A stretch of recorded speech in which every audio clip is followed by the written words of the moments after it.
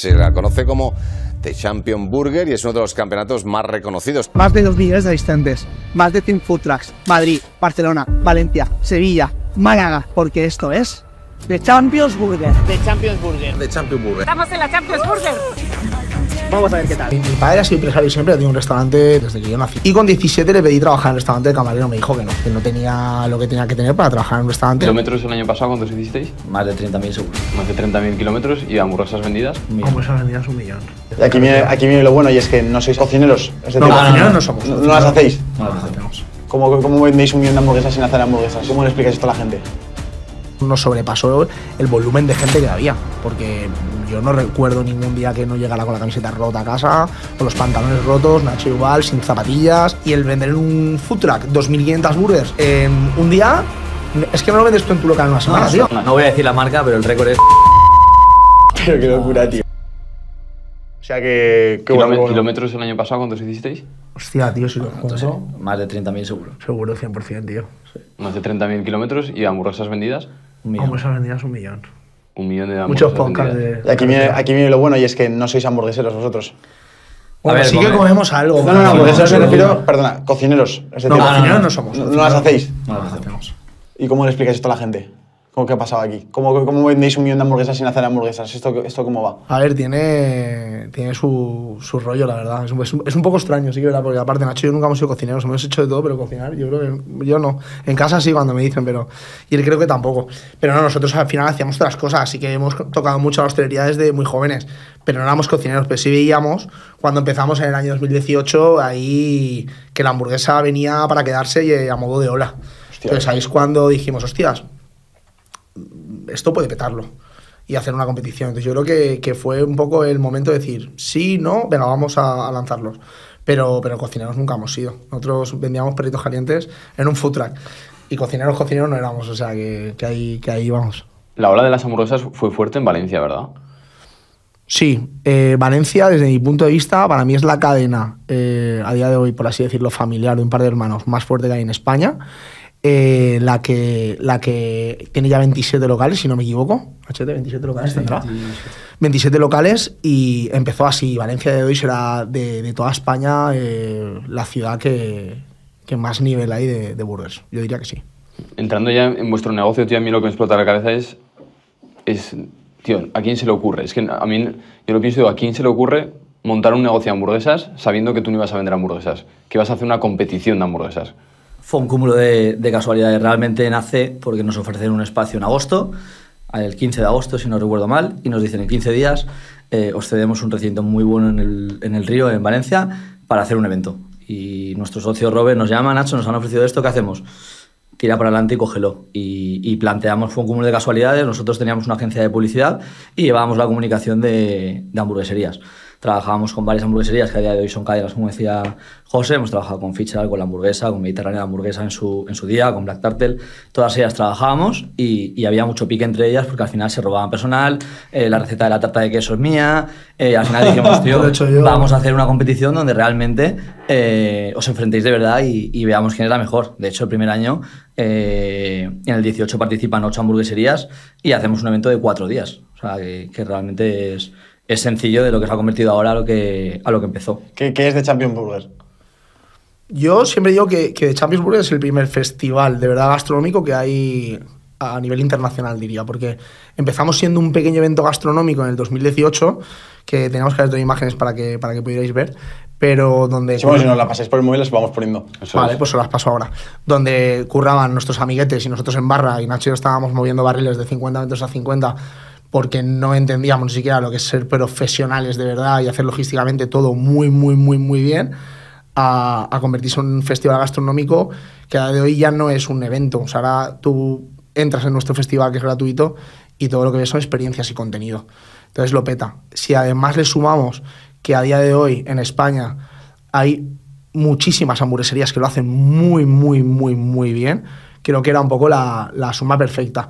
Y luego nosotros lo que tuvimos que ir haciendo es profesionalizarnos más para entender que si ya éramos buenos en ese momento, teníamos que ser mejores, mejores. Nosotros somos de los que acaba el, el festi y Nacho y yo nos miramos y solo vemos problemas, errores y cosas que hemos hecho mal.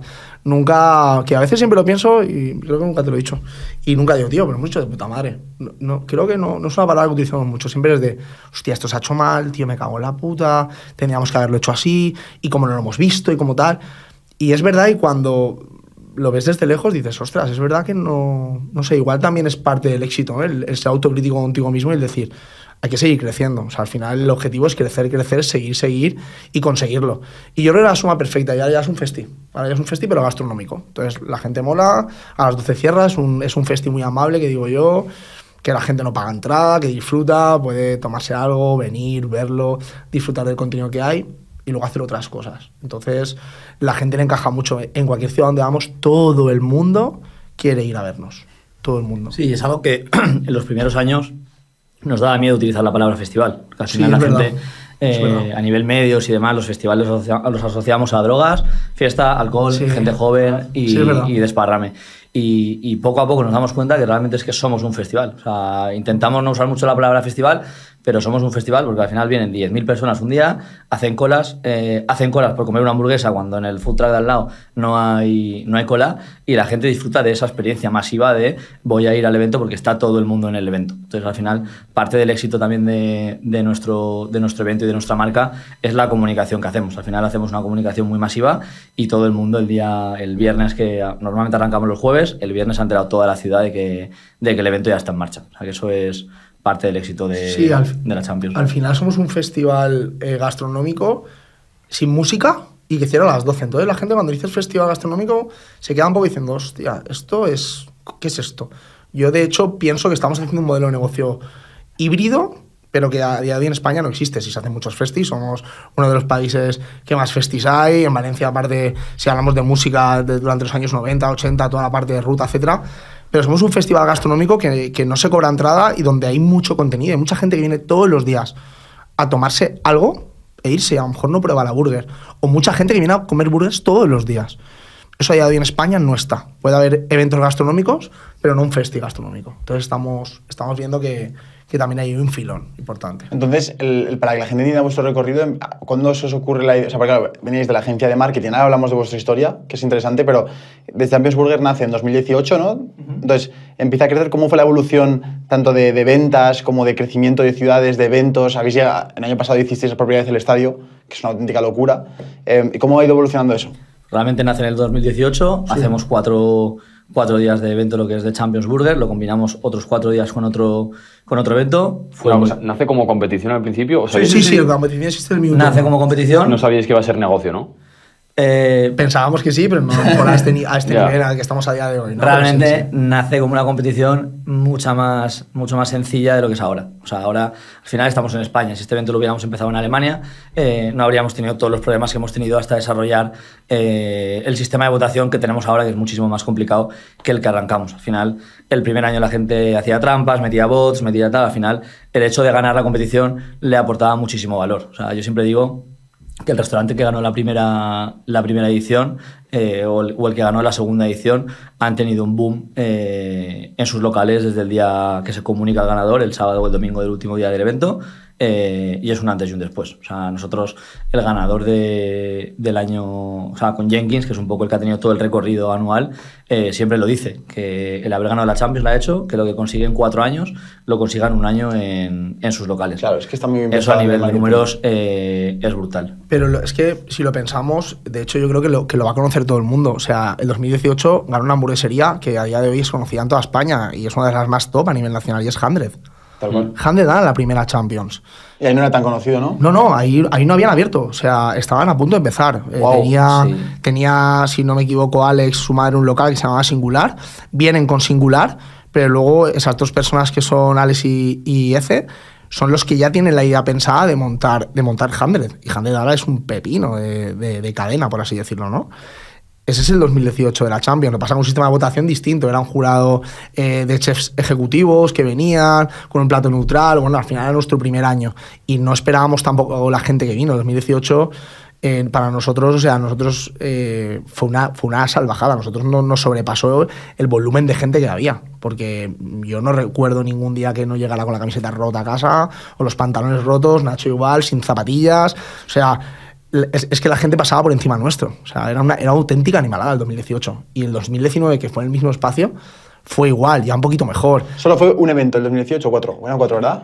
1-1. Uno. O sea, un evento. 2018 hicimos uno, 2019 otro y 2022, después de pandemia, uno también. Sí, realmente la, Oh, transi- la sí. transición fue, eh, 2018 hacemos cuatro días, 2019 hacemos 11 días 11 ya días. de- del evento en la misma ubicación, Sí. fue muy bien y se interesa por nuestro evento un fondo de, de inversión que lleva a la explotación de centros comerciales. Eh, ese fondo de inversión, sinceramente no hemos hablado con ellos el, el por qué o cómo se enteran de nuestro evento o cómo se hacen eco y nos plantean hacer el evento en Madrid en un centro comercial suyo que se llama Cuadernillos. Que de En hecho es Alcalá de Henares. En Alcalá de Henares. Me acuerdo perfectamente. Una edición de cuatro días, que de hecho el evento funciona muy bien. Es donde bien. abre su primer local de, de Madrid luego porque participan en la, en la edición. Hostia. funciona, funciona muy bien. Además, los centros comerciales tienen muy medido eh, con el sistema de, conteo de, de matrículas de coches y de afluencia y de facturación de todos los restaurantes de alrededor. Y incrementan el fin de semana, bueno, los cuatro días que estamos nosotros, todos los restaurantes del centro incrementan la facturación un 35% eh, respecto al fin de semana normal, simplemente por el hecho de nosotros estar, estar ahí. A raíz de funcionar muy bien en, ese, en esa prueba piloto que hicimos en Madrid, ese propio centro comercial, el fondo nos ofrece todos sus centros comerciales de España para hacer el evento. Nos dice, tengo 22, elegir los 7, 8 que queráis y, y hacéis el evento en, en los centros comerciales que mejor, que mejor os vengan. Nos hacemos una ruta por España, decidimos hacerlo en 5 o 6 centros comerciales. De hecho, aquí lo íbamos a hacer en Puerto Venecia, en Puerto Banús, en, en Marbella. Teníamos varios, varios centros elegidos y vino la pandemia. vino la pandemia, no hicimos ninguno, se fue toda a tomar por culo. Y, y al año siguiente fue cuando nos ofrecen hacerlo en el, en el estadio. Realmente el evento lo hicimos en el estadio por culpa de nuestro, nuestro socio Robert, que es el que lleva un poco más la parte estratégica, que está loco. Sí, nosotros lo- emplazamientos, Nosotros lo decimos, o sea, antes se lo decía a Juan, si no fuéramos los cuatro como somos, no habríamos llegado donde, donde hemos llegado. Eh, yo el primero le decía, tío, ¿cómo vamos a hacer el evento en un estadio de fútbol? O sea, 7.500 metros, el estadio del Levante nos Mestalla, el estadio del Levante está a las afueras de la ciudad, la gente se tiene que desplazar y, y no éramos nadie. Al final habíamos hecho dos eventos pequeñitos, pero no éramos, no éramos nadie. Y hicimos ese, ese año y funcionó, funcionó brutal. Metimos 90.000 personas en, Madre en mía. 8 días, Sí, de, 89.000 ocho días de evento. Y, ¿Cuánta gente cabe en el estadio? Como, sentados en las butacas, me refiero. No hay, No, no hay no, butacas. era- o era sea, el mismo era- césped, Ya, era pero, si fuera un partido de fútbol. En el ¿cuántos- Levante estarán unas 25.000 O sea, llenasteis como el estadio casi cuatro veces. Sí, pero Si lo sí, piensas sí, así, como sí, si fueran sí. cuatro partidos seguidos de lleno. Sí, locura. una- Que el Levante no hace lleno a día de hoy. De hecho, la, locura, gente, chaval. la gente se piensa que, que la Champions Burger nació en el Levante. Mucha gente Y- De ese evento, ¿no? sí, y no es así. O sea, 22. realmente. Wow. eh, o se piensan que nacimos el año pasado, que hicimos nueve ciudades. Eh, la realidad es que llevamos 12 años haciendo eventos gastronómicos que no tienen nada que ver con, con The Champions Burger. Fuimos los primeros que trajimos a Valencia los, los food trucks en su día. Nuestro socio Robert con Alex hacían Soul Market, que tiene cinco ediciones. Y, y realmente la gente no es consciente de que hace siete años fue la primera Champions Burger en el, en el Río. ¿Por qué? Porque al final el año pasado fue muy bien y la gente sí, el año pasado las hamburguesas, pero no es consciente de que, de que lleva mucho curro detrás y, y- hemos trabajado mucho para llegar ahí. Entonces, de 2018 de cuándo nace, ¿cuánto factores con Champions Burger?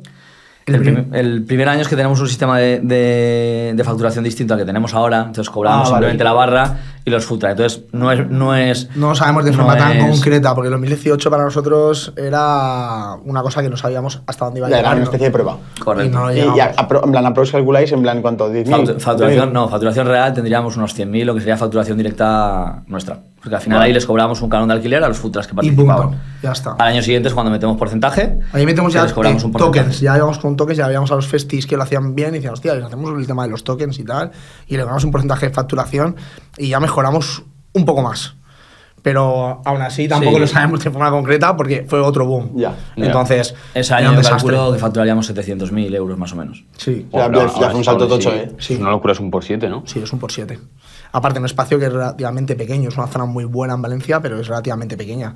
Entonces, eh, era muy top. Y en el 22, que en el campo de Levante, como decía, Claro, 20, pandemia. 20 pandemia. Vosotros estabais flipando con lo, que, con lo que estaba pasando en Champions. Nosotros, Y a tomar por culo. Yo, que aparte aprecio mucho, yo fui responsable de prensa del, del Festival de Música Medusa, entonces lo conozco bastante, a- sa- sacaron con el cero y tal. Y hablando con el dueño, con Andreu, que es amiguete y tal, "Ah, no os preocupéis, tío, pandemia. Festivales como el vuestro, bueno, en ese momento yo decía eventos pequeños y tal. Dejarán abrir. Os dejarán abrir con mascarillas, termómetros, tal cual, pero claro, él al final, eh, cuando yo estaba en el 17, 18 en Medusa, metíamos 65.000 personas. Entonces, él era el que de primera mano sabía por parte de todos los, los estamentos eh, si se iba a poder o no. Y me decía, "Ah, no te preocupes, qué tal.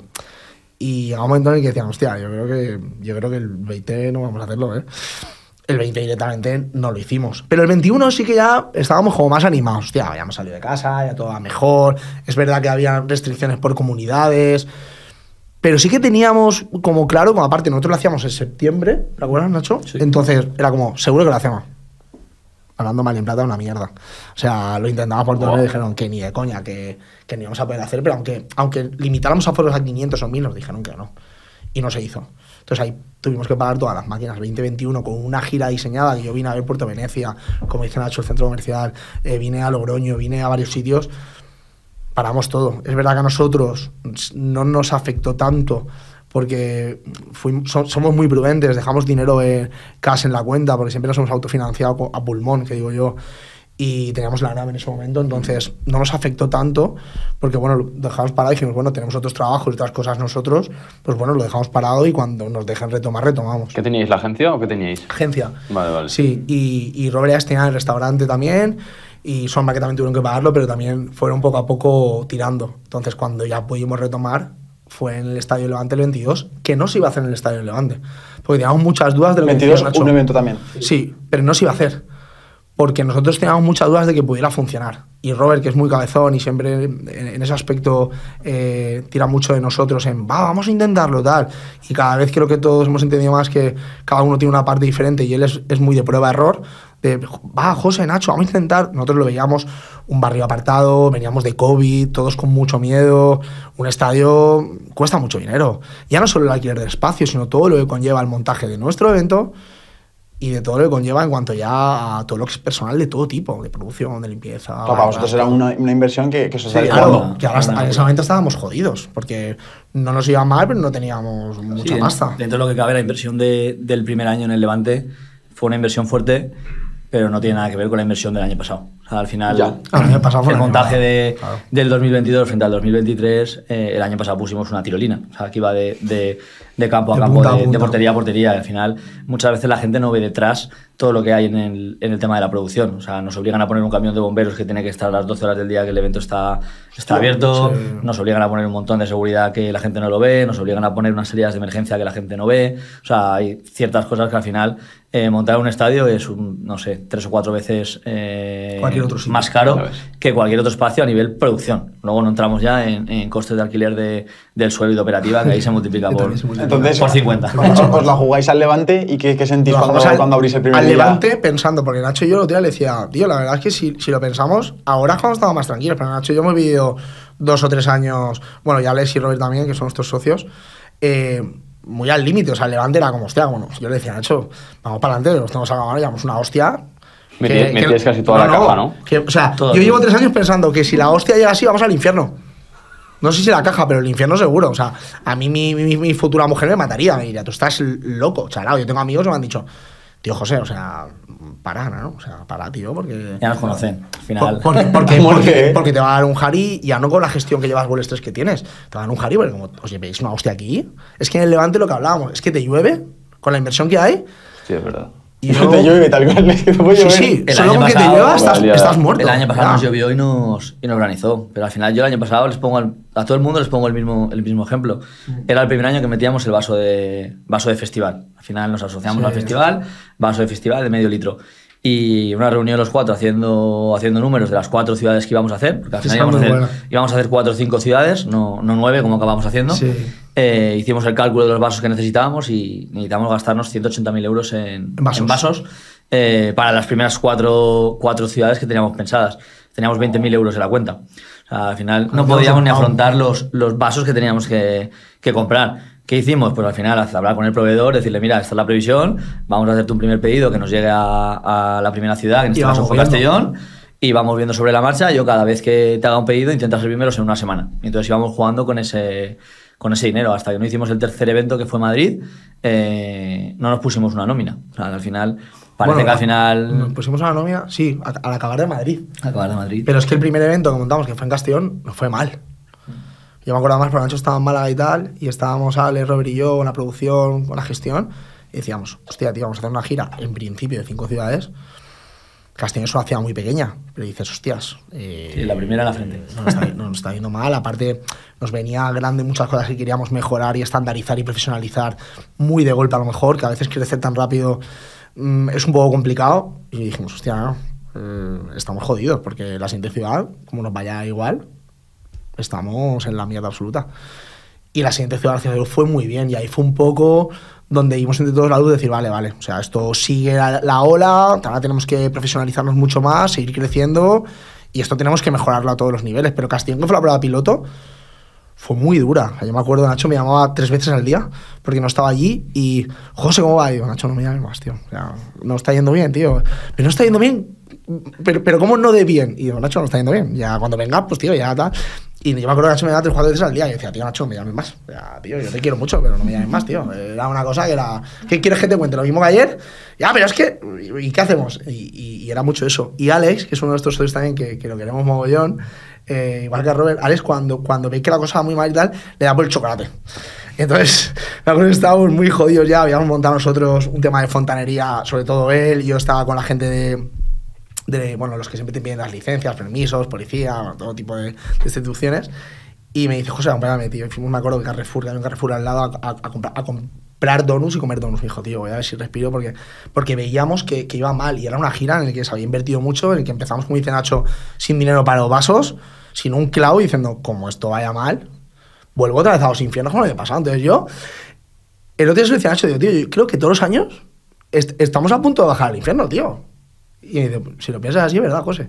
Y es verdad, siempre hemos estado un poco ahí. Ahora, el año pasado fue el primer año que, que la Champions fue de menos a más, con un casting que fue al principio muy mal, pero acabando muy bien. Pero también teníamos cuatro o cinco ciudades donde nos pasan mil millones de cosas, que ahora si preguntáis, podemos contar todas las anécdotas del mundo. Pero Nacho, por ejemplo, ahora empieza a dormir el día de antes. Yo, por ejemplo, eh, sí que le digo, ah, tío, está... que no, Josito, que no, me llama Josito normalmente. Josito, que no, tío, hasta que no vea yo, yo me pongo nervioso. Yo en ese aspecto soy más calmado y digo, tío, duerme, no puedo dormir. Y, y él, y él tal. Y, y- y de hecho se enfada conmigo porque si dormimos juntos yo ronco, entonces él no duerme, entonces peor.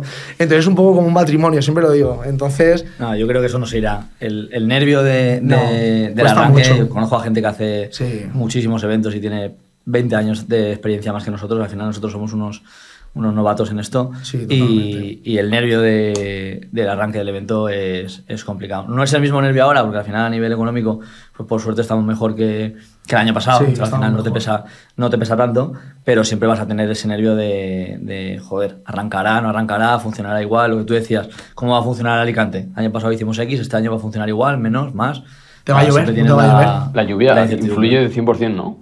Influye menos de lo que yo imaginaría, porque nos ha pasado, nos ha pasado en Córdoba que hay muchísima gente que sigue yendo en ciudades donde normalmente cuando llueve un poco no salen. No hablamos del norte, hablamos de ciudades que tienen, que son muy calurosas, etcétera. Eh, pero claro, sí que te afecta mucho. O sea, venimos de hacer Murcia, que ha hecho un 27, 28 grados. Es una salvajada. O sea, la gente se tira y come en el suelo de un parque, de enfrente, en la acera, en- encima de un contenedor. O sea, la gente co- se come la burger donde pueda. Y les da igual. Eso mola mucho. Córdoba el año pasado nos llovió, el día de arranque el jueves, pero era junio y hacía 30 grados. Entonces paró de llover a las 7, a las 7 y media el evento estaba llenó. Este año nos llovió, todo el jueves, todo el viernes, todo el sábado, todo el domingo.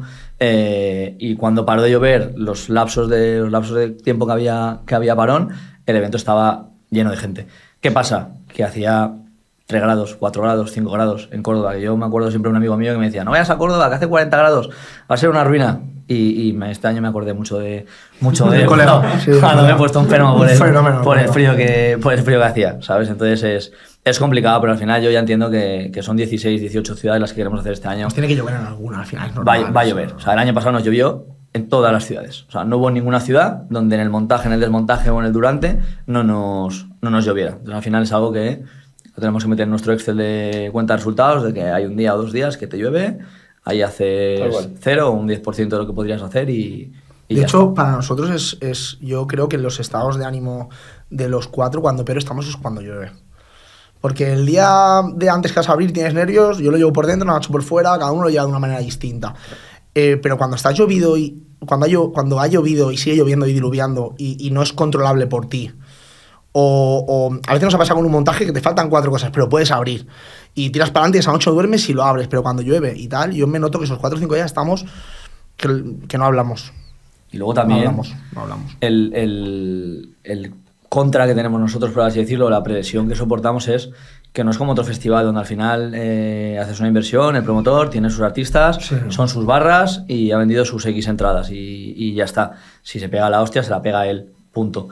Aquí tú piensas que en cualquiera de los eventos que venimos vamos con 30 food trucks, que al final son 30 marcas, 30 restaurantes que llevan 6 o 7 empleados, hoteles, eh, carne, producto, el género se pone malo.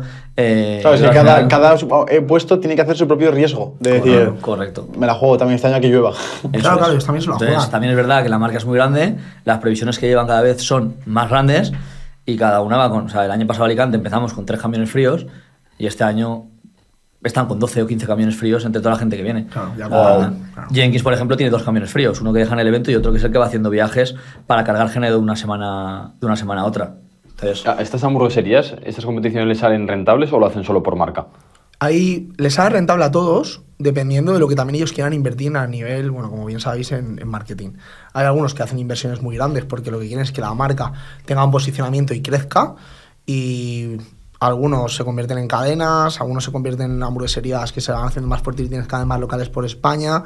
Y algunos que únicamente buscan la rentabilidad pura y dura del producto que venden. Eh, pero son rentables para todos. Hay gente, pues como decía Nacho, eh, La Muralla, que es otra de las más top que ganó España el año pasado, ¿no? El 23. Claro, ellos invierten mogollón. Si tú inviertes, pues la marca más conocida y también vendes mucho. Luego hay algunos que invierten menos porque lo que más les interesa es rentabilidad del producto. Puro y duro. Pero sí, sí que es rentable. O sea, de hecho, tenemos a, a muchos futras, restaurantes que dicen, es que estoy por cerrar mi restaurante porque me es mucho más rentable hacer una gira con vosotros de todo el año que tenerlo abierto. No, y luego que al final nosotros hemos crecido, hemos aprendido, pero ellos también. Al final ellos han crecido con, con nosotros, yo siempre lo digo, son nuestros socios. O sea, de hecho, este año hemos tenido que tomar una decisión de qué 15 restaurantes vienen con nosotros a todas las ciudades. Que esa decisión la he tomado yo y, y- y ha sido dura, porque el año pasado participaron 60 hamburgueserías. ¿A quién elijo? ¿A quién me cargo? ¿A quién no? Y al final hemos tenido que seguir criterio de facturación, marca, eh, resultados, eh, que estén implicados en el, en el proyecto. Había muchas marcas que eran conocidas nuestras, incluso amigos, que este año no han podido entrar. Porque yo el año pasado en Madrid les decía, mete más personal. Si mete más personal, vas a vender 200 hamburguesas más, 300 hamburguesas más. Son 3.000 pavos al día. 3.000 euros al día por 11 días son 30.000. Yo me llevo de ese 30.000 también un porcentaje. O sea, al final tus ganas tú socios. más, gano yo más. Entonces, mm, cuando las marcas no quieren hacer ese push, ese, ese, ese punch de, de- de inversión, eh, es complicado que al final lleguen a las cifras donde, donde quieren estar y donde quieren, y donde quieren facturar. Y luego del año pasado a este año, como decía José, si, si veis en redes sociales la muralla, por ejemplo, como empezó en, en la primera edición de, del Levante, con un food truck pequeñito, una UPS a este año que tiene un autobús de 9 metros, con pantalla alucinas. arriba, con 8 de personas, 8, O sea, personal. este, este- este es la- el ganador del año pasado, la- pero, 23. pero ese no está en otras ciudades que no sea Valencia, ¿no? Sí, sí, viene a todas. Sí. Me refiero de, de, de ellos Ah, que el físicamente. negocio. Tienen locales en Villarreal, en Lavay y ya está. Y en Almenara, creo. Sí, ya la abren también Wow. en un pueblecito de Valencia. que se Pero vamos, que no, van a- no están abriendo ni en Madrid ni en nada. No, de momento no. De Entonces están, momento- haciendo, están haciendo un ruido en otras ciudades en las que no están. Correcto. Sí, pero todo que el les mundo harán quiere, más exclusividad, ¿no? Para el, para el Champions Burger. Sí. todo el mundo quiere conocerlos. ¿Por qué? Porque al final parece que no, pero la influencia y el impacto que tiene en su facturación el participar en la Champions es la leche, pero en ganarla es la hostia. Total. O sea, ganarla es la hostia. O sea, yo he tenido personas como es Rafa de Raf, que quedó tercero en el 22, el, el único año que hicimos una de Estadio Levante, que me decía, macho, quien no os diga, que no factura más en su local después de estar en el podium, es mentira. Porque yo lo noto mogollón. Esa gente quiere ir a probar la burger. Claro. Porque ha, ha tenido a lo mejor 8 días o 11 días para probarla, no ha podido, o quiere volver a repetirla y va a tu local y lo prueba. Y la, y, y la cosa cambia mucho. Este año Nacho decía eh, 15, 15 15 food trucks y 15 hamburgueserías, pero Nacho ha tenido, yo le decía, tío, para allá, macho, que te van a reventar el puto teléfono. 200 hamburgueserías en lista de espera que quieren entrar en la gira. O sea, aún sigue llamándonos, que yo coincido con él casi todo el día, que le siguen llamando 5 o 6 hamburgueserías. Oye, Giro entra en la gira. Y Nacho dice, ostras, mira, me encantaría tener un espacio donde estuvierais todos, pero es que no podéis. Es que te puedo meter ge- 15 en gira. Hay No, al final queremos ir a los centros de las ciudades y los centros de las ciudades son complicados. ¿Dónde Muy encuentras un espacio de 7.000 metros cuadrados en el centro de una ciudad? Es muy difícil. Muy difícil. De- Estadios. Estadios. Estadios son, Ese es el siguiente, ese es el siguiente nivel, ¿no? son anti- Claro. anti- antirrentables. Son antirrentables. Es un, es un problema, pero a nivel marca eh, funciona muy bien. Y luego que al final no todo el mundo está preparado para participar en un evento como este. O sea, yo, lo, yo a todo el mundo le digo lo mismo. Todas las que me llaman, que como dice José, hay 300 hamburgueserías en cola, Sí. participa en una edición, prueba, conócenos, funciona, no funciona, veremos. que te guste, que no te guste. eh, y realmente esos, cuando han venido, han probado, son los que funcionan. Eh, hay una marca, por ejemplo, que se llama Gotan, eh, que tiene 4 o 5 locales, que vino, vino a, a Málaga el año pasado. En Málaga lo, reventaron, no fue capaz de sacar, de sacar los servicios. Luego vino a Valencia, en Valencia mejoró. En Barcelona fue cuando le explotó. O sea, eso sí que era un festival, porque veías el food truck suyo por delante y parecían zombies delante cogiendo la, cogiendo la hamburguesa. Y, y este año llegó a Murcia, mucho más preparado, un equipo mucho más formado. Y y, más. y- y ganó el segundo premio en, En en Murcia. Murcia. ¿Cuánto puede facturar una hamburguesería de estas en, durante, que son 11 días o cuántos días en Durante 11 días. 11 días. Depende, eh, si estás de los que más vende, de los que menos. Pero en una media Yo en siempre, el top lo, 5? yo siempre lo digo al final. Si sea, hablamos de Barcelona, mucho más. Sí. Y si hablamos de una ciudad más pequeña, pues mucho menos. Pero La media está entre muchísimo. vender 2.000 hamburguesas Claro. a 12.000. Que es una barbaridad. Claro. Y la gente cuando me llama las marcas me dicen, tío, pero es que entre 2 y 12 hay, hay 10. Y yo, sí, hay 10. Pero es que hay marcas que están en el top 5 que venden 10, 12.000, 15.000 hamburguesas según la, según la ciudad.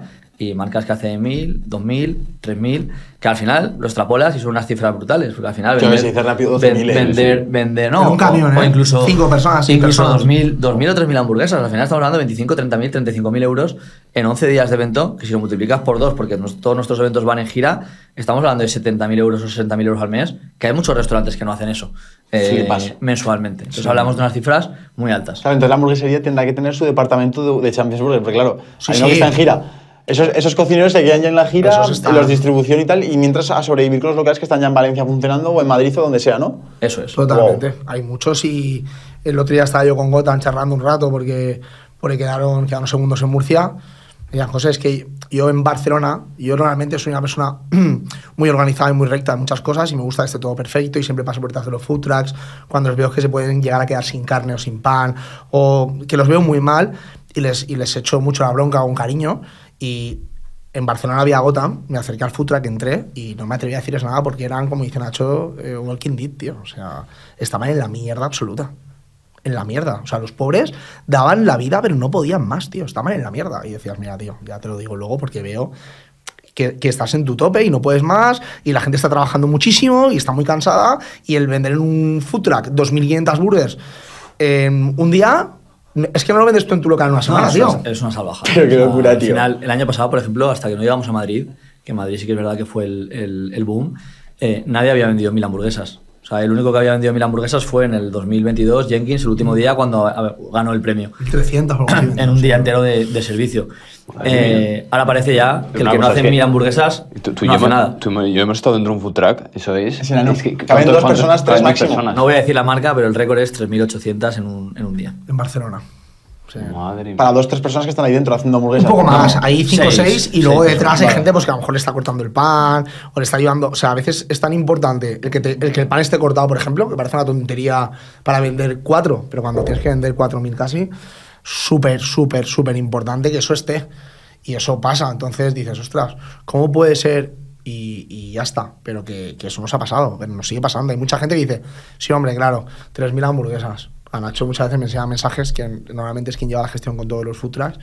Y Nacho, ni le contestes. Porque la gente a veces se piensa que nosotros eh, no le estamos diciendo la verdad, tío. Y otra cosa no, pero somos más honestos que el copón. Entonces, tío, si no te interesa venir, pues de puta madre. Pero No, es la verdad, marcas, o sea. marcas muy importantes que hemos invitado a participar, porque al final nuestro objetivo era que las marcas más grandes estuvieran con nosotros. Claro. Al final eh, es un win-win win-win para ambos. Eh, que nos rechazaron el primer año de- del Levante y que, y que, año, ¿qué- y qué- que ahora, quieren, rechazó? y que Pero ahora, ahora- ahora quieren ¿Quién nos entrar. Marcas grandes que todos conocemos.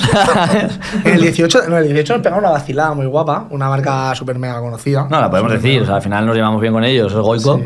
eh, Hostia, Que te año mando un Eso. mensaje. Pues, por, aquí, por la mañana ha estado Daniela.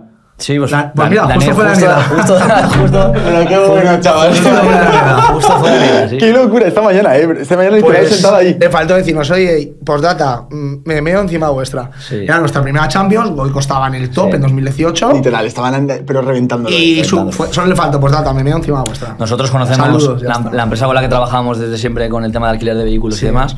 eh, nos pasó su contacto Sí. y hablé directamente con ella. Le invitamos a participar y, y al final nos dijo que éramos muy pequeñitos, que al final nos iban a hacer ellos más publicidad que la que le íbamos a hacer nosotros. Y que no- y que no justo, en el vendría ni 2000, justo en el 2022, en el Levante, eh, la agencia de marketing que le estaba planteando la estrategia anual me llama una semana antes de, de abrir las puertas y, y me dice que quiere meter la Champions Burger en, en su estrategia de, Sí. de anual para venderle al cliente. Le digo que digo, mira, justo ahora me acaban de confirmar que uno se me ha caído. Si me confirmas en 24 horas, podéis entrar en, en Valencia. Y participaron en la edición de, del Levante. Este año, el año pasado miento, eso, eso fue en el 22. El 23 22. les escribí para decirle, mira, este año tenemos una idea de gira, queremos hacer 8 o 9 ciudades, eh, este es nuestro objetivo, si queréis participar, contamos con Goico. Su respuesta fue, no está en nuestro plan estratégico del 2022 participar, eh, 2023, perdón, eh, muchas gracias. Y cuando hicimos Madrid, uno de los eh, directores generales, CEO y demás de Goico, pasó en el evento y dijo, ¿cómo puede ser que no esté Goico aquí?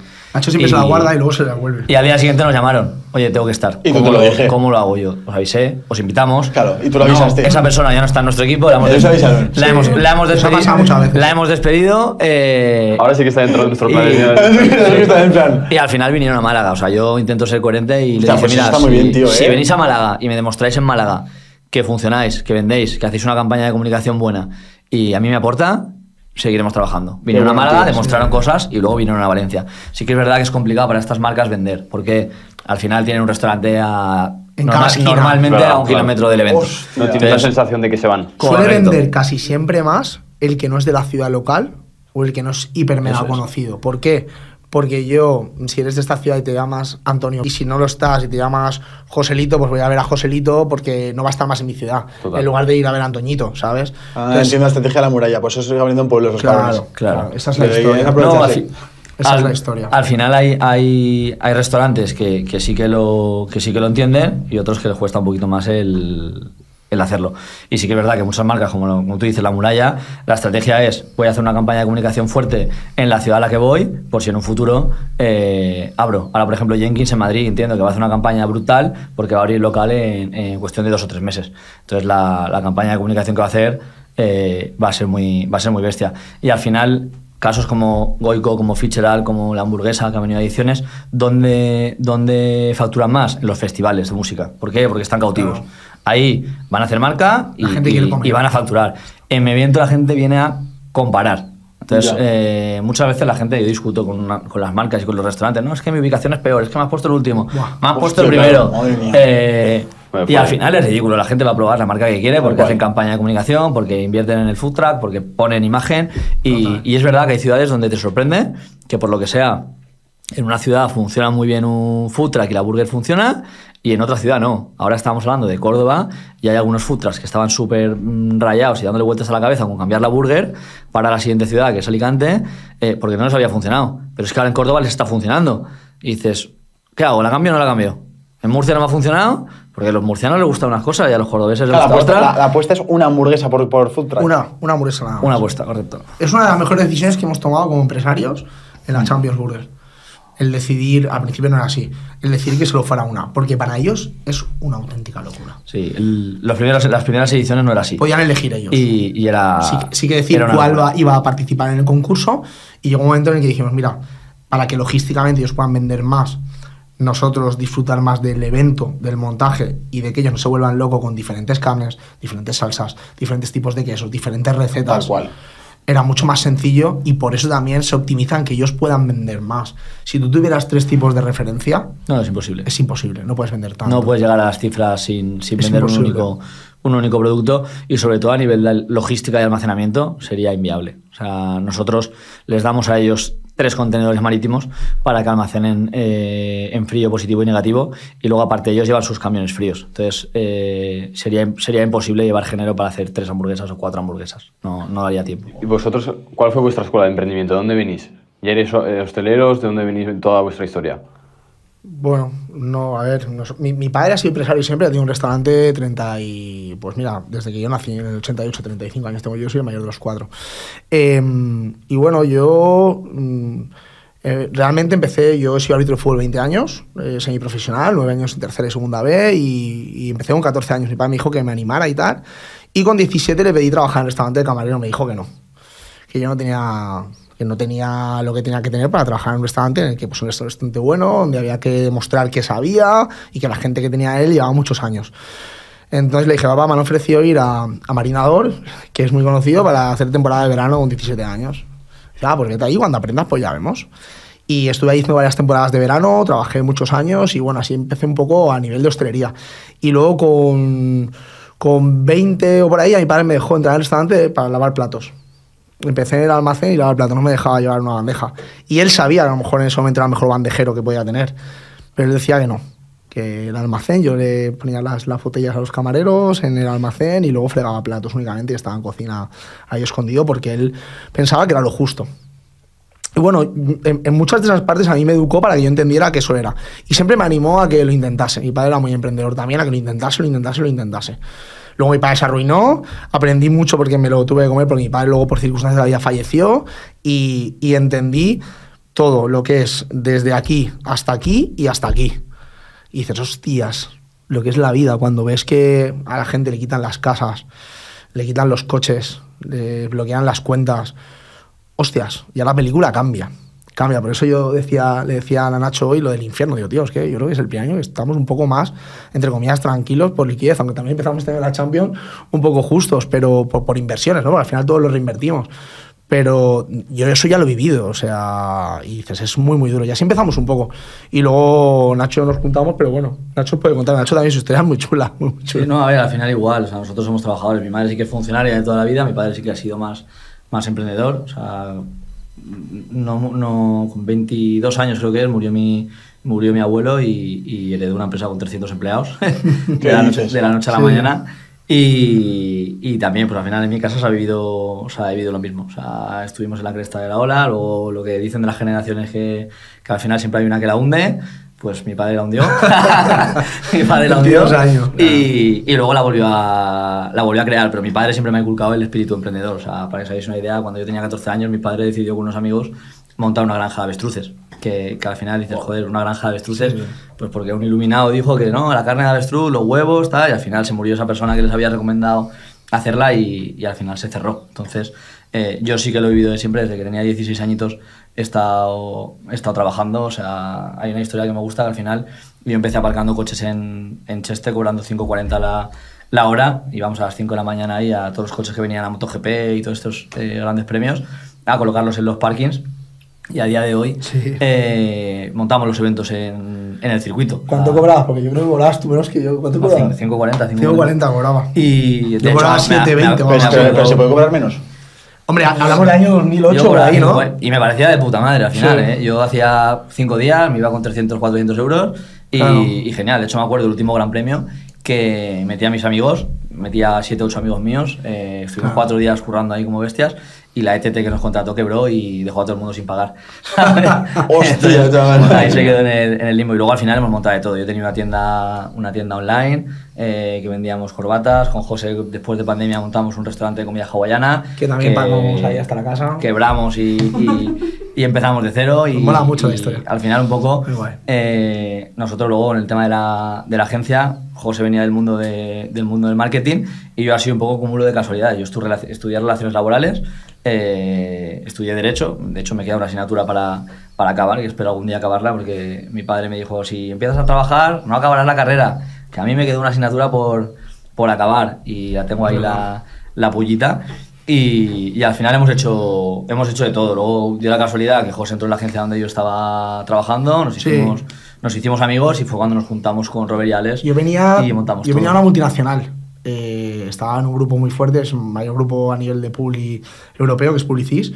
Y mi padre coge una neumonía, dejó la multinacional, me vuelvo a Valencia y me pongo a poner copas en una discoteca. Y dejo la multinacional porque no me quedaba otra.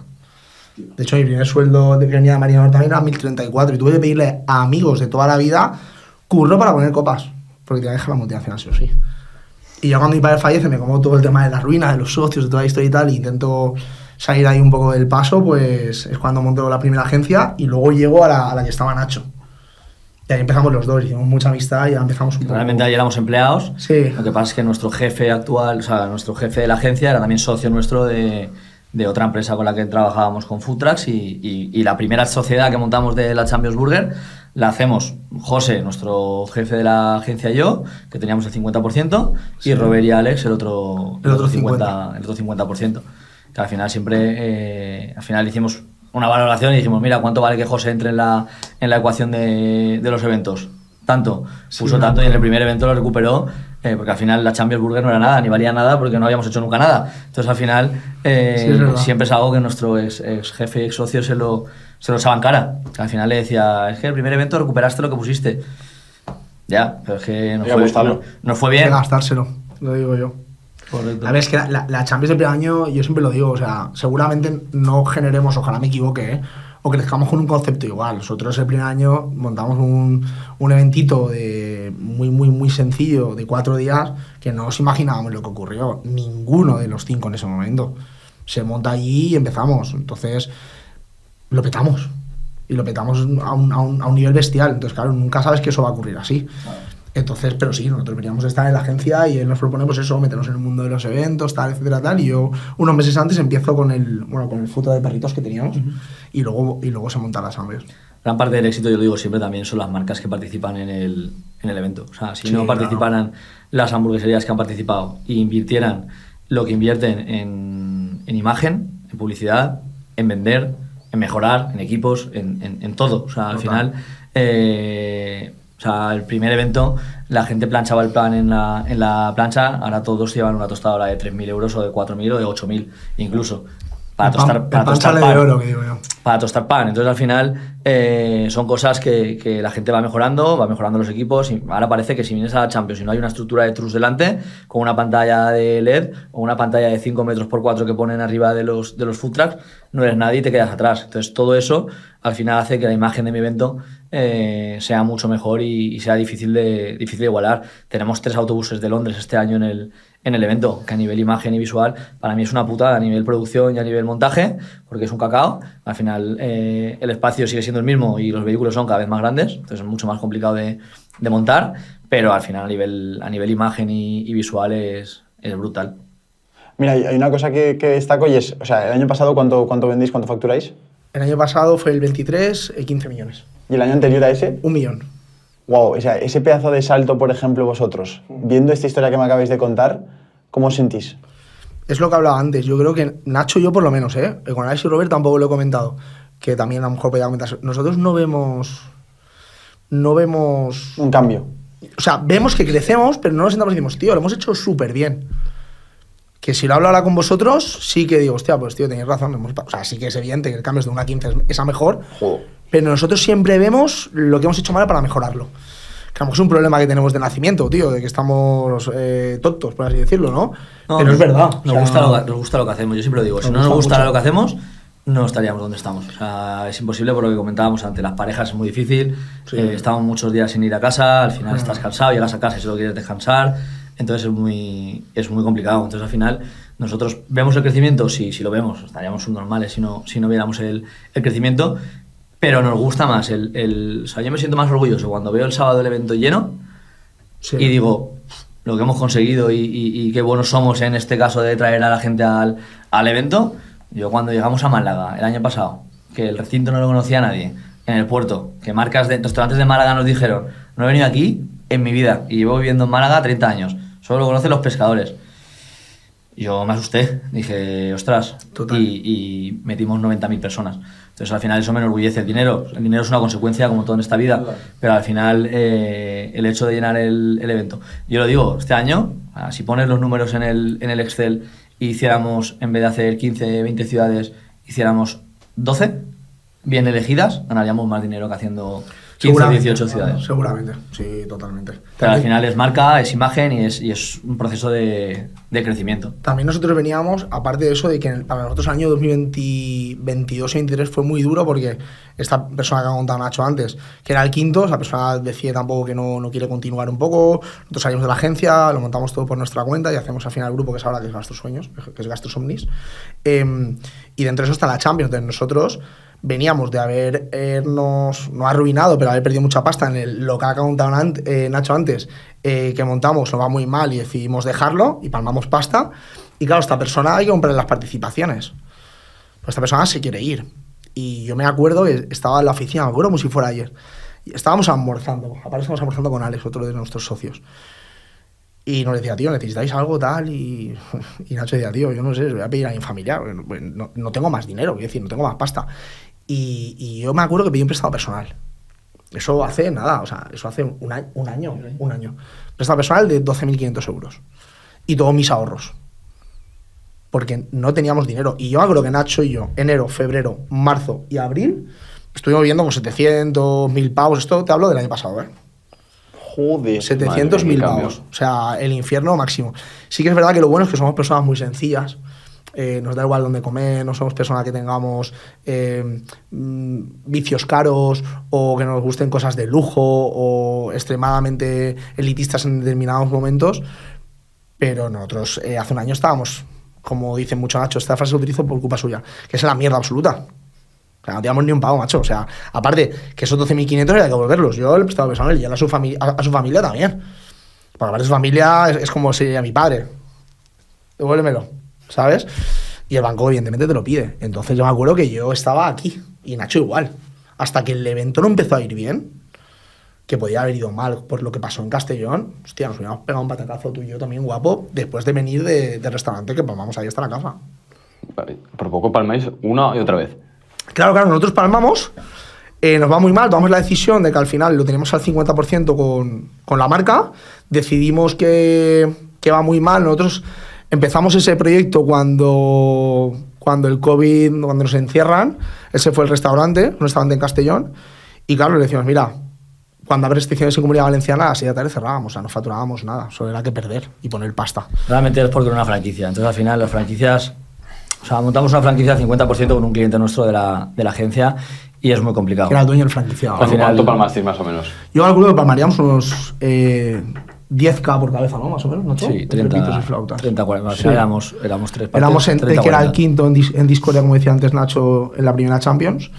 eh, y, y pe- pedimos 10 cada uno, ¿verdad? 10 cada uno, nosotros estábamos encerrados. Nacho y yo, esa agencia, le teníamos mucho aprecio y mucho cariño y, y nos congelamos el sueldo, cobramos mucho menos. En ese aspecto siempre hemos sido muy empresarios y, y- claridad con el ejemplo siempre en eso y, y dar ejemplo a, a todos. Y claro, nosotros no teníamos ni un, ni un pavo. Entonces, claro, entre abogados deciden la cantidad que se le debe pagar para comprar las participaciones. Teníamos una empresa con él que era con la que empezamos, que fue el Futura de Perritos, y luego la Champions, que fue a los meses. A Nacho y no teníamos ni un euro. Nacho me dijo, José, ¿tú tienes dinero? Y yo, no tengo.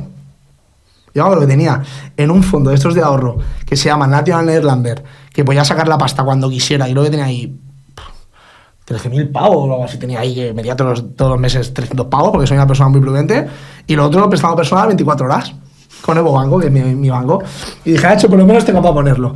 En ese momento, yo tengo amigos que, que se lo conté, no, no tengo mucha familia, mejor amigos con mi hermano, y otro igual, y me decía, José, se te está yendo la olla, tío.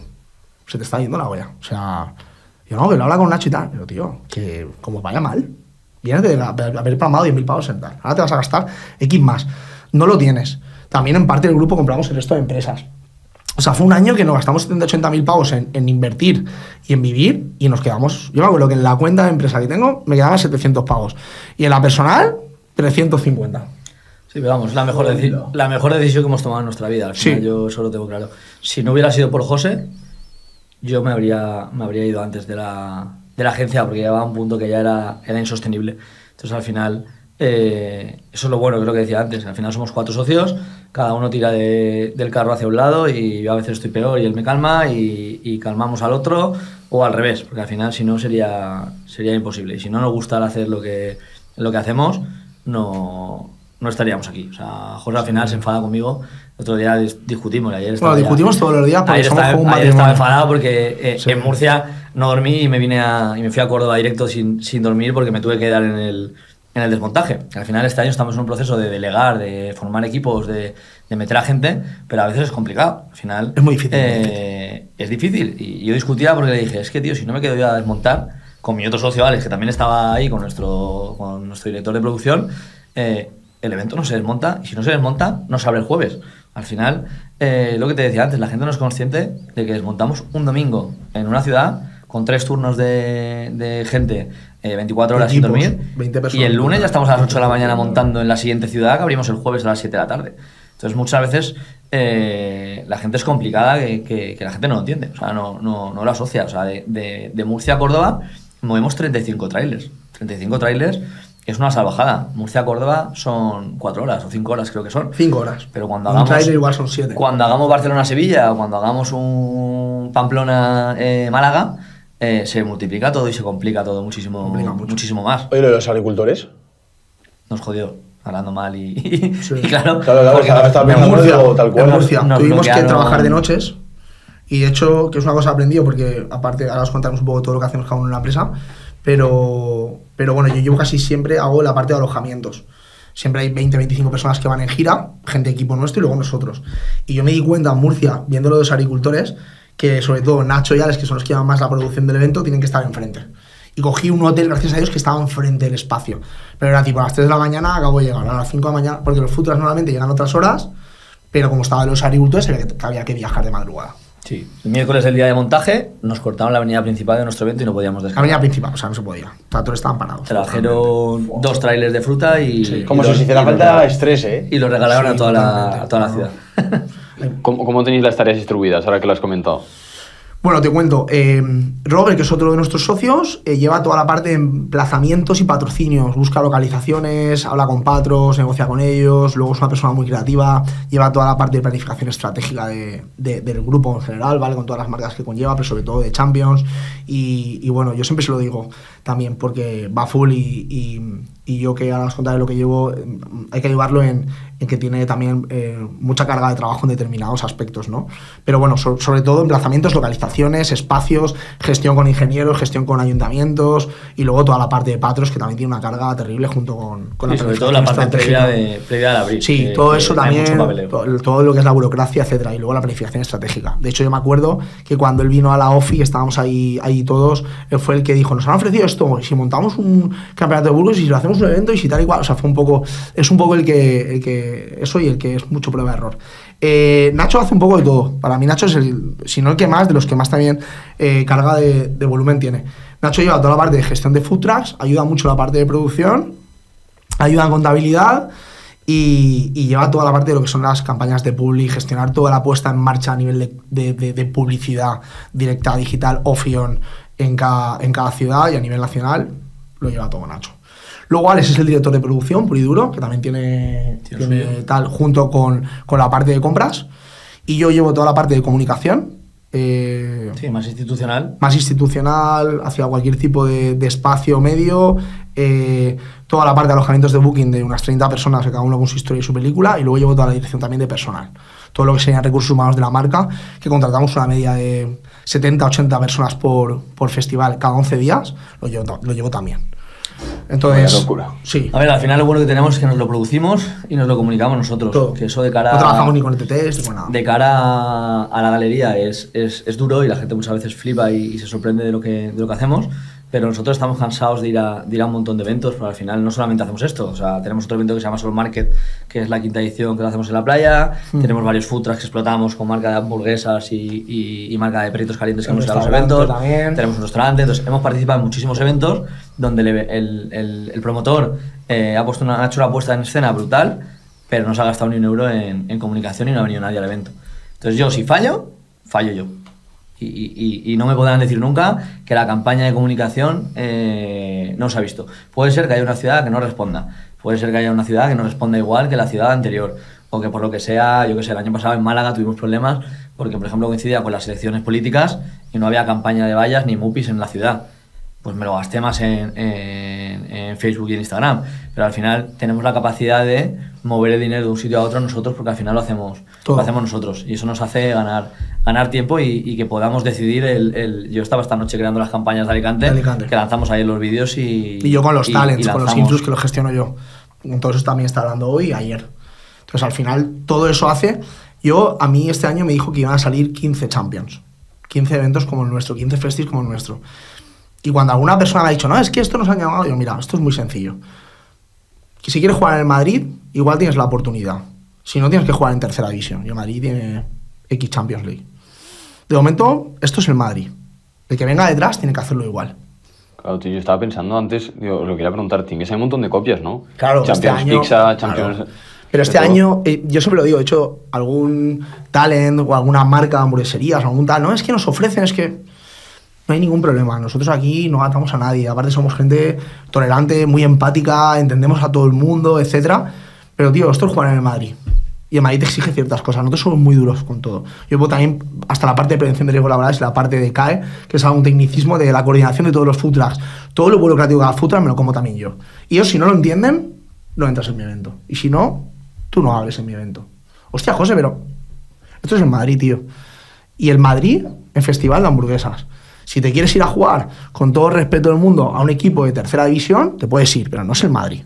No, al final ellos también saben lo que facturan con nosotros y cómo les va y cómo trabajamos. Eh, nosotros estamos, no somos los típicos que montamos el evento y, desa- y desa- y desaparecemos. Siempre. Estamos aquí hoy, es el primer día desde los últimos dos eventos, que no hay nadie en el evento de los cuatro, de los cuatro socios. Siempre intentamos estar uno de que nos guardia, iremos, nos iremos mañana. Pero, pero nosotros estamos en el evento y eso que las, que las marcas lo vean eh, es importante.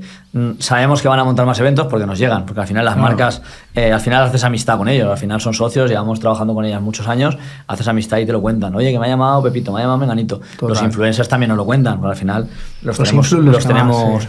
los tenemos en nómina, que digo, que digo yo, al final con ellos. Y al final eh, es muy complicado que salga una marca eh, y cree algo como lo nuestro. ¿Es posible? Es posible. Pero la inversión que tienen que hacer para crear algo como lo nuestro eh, es alta. O sea, es alta porque al final nosotros a base de, de- de tortas hemos aprendido que al final para ganar, perder, que digo yo. Eh, y eso es, una, eso es una realidad. O sea, antes de empezar teníamos más de un millón y medio de euros invertidos en, en- en el evento. ¿Por qué? Porque hay que adelantar estadios de fútbol, hay que adelantar material, hay que adelantar producción, hay que adelantar eh, sonido, hay que adelantar un montón de infraestructura que o la, o la cierras ya o, la o- o no la, o no la tienes. ¿Y ahora ya os apoyáis de bancos o a pulmón aún? Seguimos a pulmón. Wow, qué locura. Somos muy los cuatro, los cuatro estamos muy alineados casi siempre en todo y aparte lo que dice, lo que ha dicho Nacho, lo bueno es que cada uno hace una cosa y cuando uno de nosotros necesita ayuda, se la pide a alguien. Entonces eso es muy guay, porque a veces el problema suele estar cuando uno quiere hacer lo mismo que el otro. En nuestro caso no, no hay ningún problema. Si a mí me llama Alex, me llama Rubén, me llama Nacho, para que se eche una mano, se la he hecho. Y pelota, son mis socios, igual que al revés. Pero seguimos trabajando con nuestro pulmón. Y sobre lo que hacemos y ganamos, hay una parte siempre importante que reinvertimos para que la empresa se También es siga verdad que al final trabajamos con mucha caja. Al final, eh, todo, o sea, yo abro el evento el, día, el jueves y el viernes al día siguiente por la mañana, ya tengo el dinero de todo el mundo que ha, que ha pagado y ha comprado una hamburguesa en el evento. Entonces, es más sencillo que otros modelos de negocio eh, donde son menos intensivos en capital. Me lancé la curiosidad de cómo se fían de vosotros los, los- los food trucks de que... Porque el dinero lo recibís vosotros y luego le pagáis. Correcto. Eh, joder, pues sí que tienen confianza, ¿no? Al final es un sistema interno que hemos Sí. trabajado mucho en ello. Eh, Claro. Al final tienen unos datáfonos, son, son nuestros, se los ponemos, ellos tienen un enlace donde ven en tiempo real lo que están facturando. Sí, lo ven todo. Eh, Ah, vale. tienen un Sí. enlace con, con Uber, porque también tenemos un sistema de delivery donde puedes recoger fuerte. sin hacer, sin hacer Sin hacer casi colas. colas. eh, es buena, y, lo, sí. y lo Esa ven. es muy buena idea, tal cual. Y, y lo ven, entonces al final, obviamente, pues siempre hemos tenido nuestro más y nuestro menos. Y alguna vez acaba el evento, oye, que se me, yo calculé que había hecho 2.327 y me salen 3.223. Eh, al final llegamos a un entendimiento y, y ya está. Pero normalmente no falla el, no falla el sistema. Al final es un sistema propio que llevamos tres años eh, perfilando. Cada vez vamos a, vamos a mejor. A mí lo que me, lo que me, me fascina es eh, lo poco que os quejáis y la situación en la que tenéis de estrés, que es que hasta hace poco, bueno, hasta hace nada, habéis conseguido re- respirar, porque lleváis estos últimos cuatro años yendo literalmente a, a remar contra corriente y a ver si conseguís salir a esto adelante. Y, y, y en un momento os he escuchado en plan de, no, es que tal, o sea, no os quejáis, vuestra, vuestra forma es, oye, estamos agradecidos por lo que tenemos, vamos a lucharlo al máximo este año y, y vamos a seguir adelante. ¿Creéis que esto tiene que ver con lo que os ha ido pasando en vuestra vida? Es decir, si no hubierais tenido un inicio tan duro como el que habéis tenido ahora, probablemente no hubierais sido capaces de ser los emprendedores que sois ahora, capaces de soportar este, este digamos, como este- esta tormenta. Yo creo 100%. que el año pasado fue clave para, para los cuatro. Al final eh, tuvimos que superar un montón de baches y de inconvenientes que no, que no estábamos acostumbrados. O sea, de hacer un evento, no hacíamos un evento, hacíamos tres o cuatro eventos eh, al año, pero mucho más pequeñito, a hacer nueve como hicimos el año, el año Bueno, pasado. que con los Soul Market, con la October, con todos los que hicieron fueron 15 en total. Sí, fue una, fue una, auténtica, una auténtica locura. Eh, si no, de hecho, antes lo hablábamos fuera de, fuera de cámaras, el tema de eh, cuánto riesgo había o, o- o si perdíamos dinero o no. El año pasado fue la primera vez eh, que perdimos dinero haciendo un, un- un evento. Un evento. Y, y realmente, yo lo digo siempre, yo se lo decía a mi, a, mi, a mi socio Robert, le decía, es que es bueno que nos haya pasado. Me parecía que éramos inmortales, que hacíamos cualquier cosa, montábamos eh, eh, un chiringuito aquí encima de no sé qué y nos iba de puta madre. Y al final, el año pasado, mm, decidimos montar rápido y, y a ma- a mala hora en, en- en Sevilla un Oktoberfest, de una típica fiesta de la cerveza con una producción muy elevada.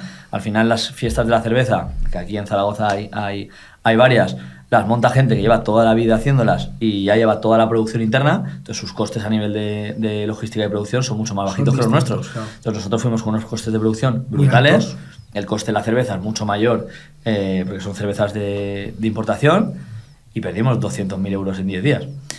Si no hubiera pasado todo lo que pasó el año pasado, no nos habríamos tomado igual la pérdida de, de esos 200.000 euros en, en ese evento. Y luego, si yo me pongo un papel, que no lo he hecho con Nacho, pero sí que lo hemos muchas veces, o con Alex y Robert, decimos, tío, nos ponemos a, pensar todo lo que hicimos mal, fua, un mogollón de cosas. Mogollón de cosas. Porque yo siempre le veo un pero a todo, pero desde mi trabajo, el primero, porque hago cosas mal. Pero el decir, hostia, Sevilla, una ciudad donde toman mucha cerveza, pero donde es barata, donde la birra es muy barata. Y yo voy a montar una fiesta de la cerveza en una zona que la organización a lo mejor no es la mejor. Noviembre, que hace frío, aire libre. Y empecé a sumar, ¿te acuerdas, Nacho? Y dijimos, Sí, pero "Hostia, veníamos, Es pues, que era como muy complicado. Veníamos en Era la cresta de la ola, veníamos a la cresta de la ola. nos habían ido las nueve ciudades muy bien, eh, Barcelona habíamos reventado, eh, pues mira, vamos a hacerla. Pero la Champions también es verdad que nos hemos dado cuenta, que también nos ha servido para darnos cuenta que la Champions es la Champions. Es, como os decía antes, el Madrid. A día de hoy, para, por lo menos para nosotros, el Madrid los eventos. O sea, lo que da la Champions es lo que os decía antes. En Córdoba lloviendo había colas. Lloviendo es diluviando, ¿eh? Y la gente con el paraguas haciendo fila. Sí. Sí. Entonces, claro. Una eh, locura. Eso no pasa. En, en la octubre en Sevilla nos llovió, hizo mal tiempo y la gente se va, tío. Y yo lo entiendo. Córdoba, que es una ciudad también muy calurosa donde la gente sale, la gente es que la cola, tío. Quiere probar la burger que era de Málaga, la burger de Madrid, la burger que era de tal. la Y aquí, y aquí está el, el- el lado, el lado oscuro de la, de la moneda, ¿no? Antes me decíais, oye, ayer me ha llamado mi chica que llevo 29 días sin verla. Sí. Que ¿Cómo estáis gestionando esa parte? Mal. A ver, es jodido. Es, es- es jodido por ambas partes. Porque yo, por ejemplo, me caso este año. Es verdad que tengo suerte porque tengo una novia fantástica y, y me apoya, me anima y entiende mi trabajo, me conoció así, entonces muy guay. Pero claro, hay veces que yo quiero ir a casa. Bueno, yo creo que todos queremos estar en casa. Al final, un desayuno, un café con tu pareja, con tus colegas, con tal, eso no tiene precio. Total. Pero hay veces que te tienes que quedar. De hecho, hoy hemos tenido un una conversación con los socios y tal de decir, tiene que ir una a Córdoba. Y no nos hemos ido porque estábamos aquí. Pero que es que hay veces que, que- que surgen incidencias e inconvenientes donde te hacen que te, que te quedes. Y claro, yo no sé si eran 29, yo creo que eran 27 o algo así, pero vamos, eh, pues una putada. Ayer, por ejemplo, no estábamos en Córdoba ninguno, ni ayer ni hoy, Mm. y tuvimos inspección de trabajo. Y yo Un, ma- un martes a las nueve y media de la noche en pleno servicio, en Córdoba. ¿Y Pues- cómo lo pues- gestionasteis? ¿Qué pasó? Pues No, había unos responsables. tenemos- tenemos Lo bueno es que pero- tenemos la parte de personal todo digitalizado. Le- les dije a la inspectora que enseñara todo lo que está digitalizado. Vio que estaba bien una aplicación muy conocida donde puede ver que está todo ok. Y bueno, se le enviará todo y no hay ningún problema. Pero a mí, por ejemplo, que, que llevo justamente eso, que estoy todos los días, dices, joder, me voy un día para hacer una acción, ahora también me voy a Madrid, luego me vuelvo a ir a Madrid. Y ese día, ese martes, tiene que pasar, me cago en la leche. Y te jode mogollón. No por, mm, por nada, porque al final lo tienes todo, cada vez lo tienes todo mejor, entonces eso no me preocupa, lo que te preocupa es decir, joder, se ha comido un poco el marrón de tener que pararlo todo, las colas, el tal, el cual, para evidentemente atender a esa persona. Y tú que eres el responsable, eso no está. Y ayer Nacho y estábamos jodidos. Pero bueno, eso. al final se va, bueno. se va superando. Yo creo que también, Sí. eh, yo con mi novia llevo 12 años y, y pico, y al principio era más duro, al final no nos conocía, o sea, voy a montar, nosotros somos muy así, vamos a montar un restaurante de comida hawaiana. Ostras, pero ¿cuándo? Además que los de Valencia tenéis algo que lo decís que seguros de vuestros mismos. No, no, pero que, funcionar. no, no, que ¿Tú ya, que ya lo "Hostia, estamos, está". que ya lo estamos montando, que tengo, que tengo local. O sea, yo siempre lo digo que mi novia se enfada, se enfada conmigo muchas veces por, por, por mi decisión tan rápida que tengo. Se enfadó la última vez cuando dije, me voy a comprar un coche, me voy a comprar un coche. Y igual estuvo tres meses para comprarse, para comprarse un coche y yo pues me fui una tarde y me lo compré. Al final es un coche, es que no, no, no necesito. Yo mi no novia más. no lo dice, pero yo creo que lo piensa. Yo creo que piensas. Pero sí es verdad que cada vez Fatal. intentamos gestionarlo mejor y, y- y yo creo que este año es duro. Yo voy a ser padre en un mes.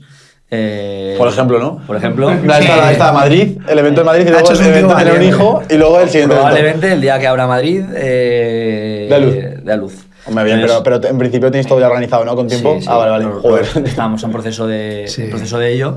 Pero, pero al final lo tienen que entender, que esto es un proyecto de, es un proyecto de vida. Esto y mi hijo también, obviamente, ¿sabes? Entonces al final nos organizaremos, somos cuatro, nos dividiremos y cuando se pueda pues iremos y si en verano me tengo que ir con mi hijo de tres meses al norte, porque hacemos toda la gira norte de Vigo, Pamplona, Santander, San Sebastián, eh, y me tengo que ir alquilando casitas por el norte. Pues Nacho se la queda, se pondrá una mochila ahí con el nene, lo va a ser nene y estará por ahí, como No, si no, estuviera no, viendo y. No hay otra, es que al final hay que. Muchas veces eh, hay que estar, aunque no estés directamente haciendo. eh, Sí, muchas veces no ejecutas. Haciendo nada, porque al final tiene que, haber, tiene que haber siempre un, un responsable. Eso muchas veces yo discuto con mis, con mis amigos porque me lo dicen. Dicen, tío, delega. Es que ojalá pudiera delegar y no es tan fácil delegar. Estamos ahora trabajando en eso, en todo lo que es estandarizar y, y a una transición en delegar un poco. Y aunque no lo hagan al 100%, si lo hacen a un 6 al principio, pues iremos trabajando en que poco a poco eso se pueda hacer. Pero sí que es verdad que lo bueno que tenemos los cuatro es que tenemos el concepto del trabajo eh, idéntico. Y es, hay que currar. Y los cuatro, yo siempre lo digo, eh, tengo tres socios súper trabajadores. Los tres, cada uno en el departamento que os he contado. O sea, yo no tengo ni un pero de ninguno de los tres, porque el concepto de trabajo es el mismo que el mío y es seguir. O sea, si no se sigues, te mueres. Mi padre me educó, hay que seguir trabajando. Es lo que hay, tío. O sea, pase lo que pase. Mi padre falleció y yo ese día me fui a currar. Es lo que hay, tío. O sea, eh, parar no vale y llorar tampoco. Entonces seguimos. Nada, a veces Nacho dice, bueno, pues un día nos va mal y nos pegamos a la hostia para el consumo o cualquier supermercado que se pueda. A comer O- chocolate. Ah, dependiente o de, lo, o de lo que se pueda y, com- y también compraremos chocolate. Pero, pero sí, al final los cuatro somos muy alineados al trabajo, tío. Concepto de trabajo de trabajar, sacrificio, esfuerzo, valores. Si no es así, los socios son complicados. Yo en ese aspecto siempre digo que, que, que, que chapo, tío. O sea, muy Qué locura, tío. ¿Y ¿Cómo veis el futuro? ¿Veis que este ritmo es sostenible o cómo os imagináis Champions Burger en cinco años? Este ritmo a día de hoy. Como, como si haciendo un por 15 cada año. como lo, te- como lo tenemos organizado, Tendremos a verte to- no es sostenible, no es sostenible, pero por nuestro por nuestra forma de ser. Entonces, si conseguimos este año estandarizar, procedimentar, mejorar, crecer en equipo, o sea, el año pasado éramos los cuatro socios eh, y un diseñador. Este año ¿Con ya eso montasteis, con eso los 15 millones? sí, Yo el año pasado no- tenía noches que si Nacho estaba montando, yo me quedaba en el hotel llamando a personas a las 2 y 3 de la mañana para contratar a camareros.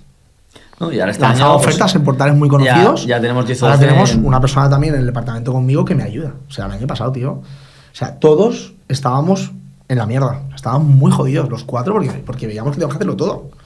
Madre mía. Al final, Todo, el, todo. el- el evento pasa por crecer eh, doblando ciudades. No, no hay otra opción de. Bueno, este año hacemos Alemania, Sí. no lo hemos comentado, hacemos ocho ubicaciones en, Sí, en ocho, Alemania. solo, solo ocho. Con, un un- poquito. con una especie de- Empezáis poco, ¿no? empezamos con una especie de partner ahí bastante, Sí. bastante potente.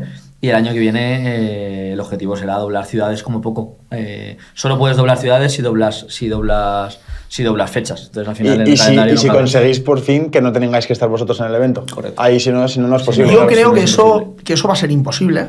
Yo sinceramente lo pienso porque yo sigo pensando, a lo mejor me equivoco, en que siempre tiene que haber un socio de guardia, que, que- que siempre lo hay normalmente, siempre hay alguno de nosotros cuatro. Claro. Lo que sí que es verdad en que la ejecución de determinadas tareas a lo mejor no tengamos que estar tanto. ¿Vale? Nacho y Alex, por ejemplo, siguen estando en el montaje eh, y te los ves montando un cartel y yo sí puedo haber hecho una mano, pero Robert también, si no está moviendo un camión. Entonces, claro, hay determinadas cosas que tenemos que procedimentar y estandarizar bien para que tengamos una base y un equipo y que eso lo hagan. Y tú lo dirijas mejor para que al final tu tiempo sea más productivo y esa persona aprenda. Estamos este año en ese proceso, porque el año pasado todo lo hacíamos nosotros. O sea, ¿ve- ¿Veis imposible hacer un evento sin que ap- aparezca un socio por ahí? Que, que, que esté durante los días, sí, porque al final eh, yo creo que, que parte del éxito es que se- siempre nos han visto. Tú hablas con los food trucks que, que se quejan cuando venden 500 hamburguesas. Es que he vendido poco, yo 500 hamburguesas has vendido en tu local en tu vida. Pero es que yo, ellos- me, que yo me muero de risa y lo llevo con cariño. Y ellos tienen una relación con nosotros de familia. Pero es que ellos siempre también nos ven, están, ¿eh? tío. Ellos también están, siempre hay alguno. Que de eso al final yo lo digo siempre, digo, no es está- están los de- tienen negocios físicos también en Valencia o en Sí, Madrid. o sea, y están aquí los Claro. dueños están. Y los dueños de la hamburguesa están, los dueños de Dickies están, los dueños de Gotan están. Los, Los de dueños todos, todas de las Tarantino hamburgueserías están, todos. potentes que venden y quieren hacer marca, están. Están. Y cuando no están, no facturan igual. Está claro, ¿eh? Todo clarísimo. Entonces es Y hay complicado. un plus ahí de actitud, sí. Correcto. Total. Es complicado. Pero estamos trabajando en eso, estamos trabajando en que la transición no sea tan... Nacho y yo, por ejemplo, hemos estado todos estos días en Córdoba, siempre tenemos faena oficina, pero nos gustaría mucho más estar en nuestra oficina física en Valencia, evidentemente. Pero luego siempre hay cosas que tú puedes dirigir o gestionar mejor y aún no hemos conseguido eso estandarizarlo de la mejor manera posible. Estamos en Pero ello.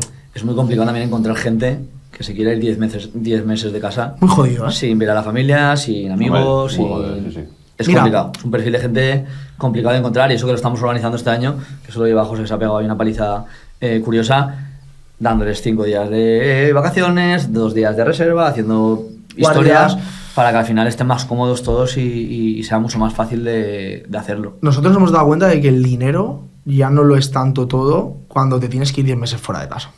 O sea, la implicación en la marca y el que tú quieras vivir una experiencia en la Champions eh, tiene que ser muy importante y tiene que ir de la mano. Porque yo te puedo pagar mucha pasta, Tal te cual, puedo ¿eh? pagar muy bien, Sí. pero si luego a ti no te apetece y tu actitud es o negativa, o no quieres currar, o no quieres meterte eh, en un evento y en un festi así, no puedes hacerlo. Es inviable. Yo me he dado cuenta de que he conocido a gente muy profesional que me dice, José, es que yo ocho meses fuera de casa, yo, yo no puedo estar eh, dos meses sin ver a mi pareja, a mi mujer, o a mi marido, o a mis hijos. No, y lo hemos Yo visto. empatizo con eso, Gente que ha empezado, que no ha aguantado. O sea, o gente que hemos tenido que despedir, o gente que directamente nos ha dicho, oye, lo siento mucho, pero no, no aguanto el ritmo. No o sea, aguanto. es, es imposible. Porque es duro. Al final son 11 días de, de evento, 4 días de montaje, 3 de desmontaje, 3 de montaje y vuelta a empezar. O sea, no descansamos ni un día. Oye, vosotros que habéis estado en, tan abajo o casi arruinados y ahora tenéis ese éxito, ¿veis que cada persona podría conseguirlo? ¿Veis que no está hecho esto para todos? ¿Qué claves habéis visto para conseguir este éxito? Hostia, tío, me podría estar emocionado con este tema porque eh, es, es muy jodido cuando estás muy, muy, muy mal, eh, que ves que, que, joder, que, que- que eso que dices, tío, a, a veces tenemos todos un día que dices, todo me ha salido mal. Sí. Pues nosotros hemos tenido temporadas de ver que todo nos salía mal. Y que estábamos muy jodidos y que todo lo que teníamos que hacer muchas veces depende del dinero y nosotros no lo teníamos. Entonces, sí que pienso que la gente puede llegar a crecer, como nosotros empezamos a crecer, que era el objetivo, ¿vale? Eh, crecer, eso sí, con mucho sacrificio y mucho esfuerzo, tío. Yo no paro de currar ni un día de la semana desde que tengo 14 años. Yo con 14 años iba al colegio y luego yo me iba eh, el sábado y el domingo a arbitrar y luego me iba a Marinador de junio a octubre, hacía todos los fines de semana allí y arbitraba y estudiaba y creo que si no entienden el- para mí los valores de sacrificio, esfuerzo, igual a posibilidad de éxito y de crecimiento, no.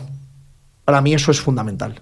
Si, y creo que Nacho opina también un poco como yo. Sí. Si eso no lo entienden así, sí que pienso que no pueden, que no pueden hacerlo. Nosotros hemos llegado donde hemos llegado por el trabajo. O sea, Sí, totalmente. li- literal. Si no, y porque nos gusta lo que hacemos. Si no nos gustara lo que hacemos, no habríamos llegado, no habríamos llegado aquí. Y- Yo, bueno, yo, yo siempre lo pienso con. Hablo con su padre, yo soy muy de la familia. Dice, macho, mira que curráis y mira qué tal.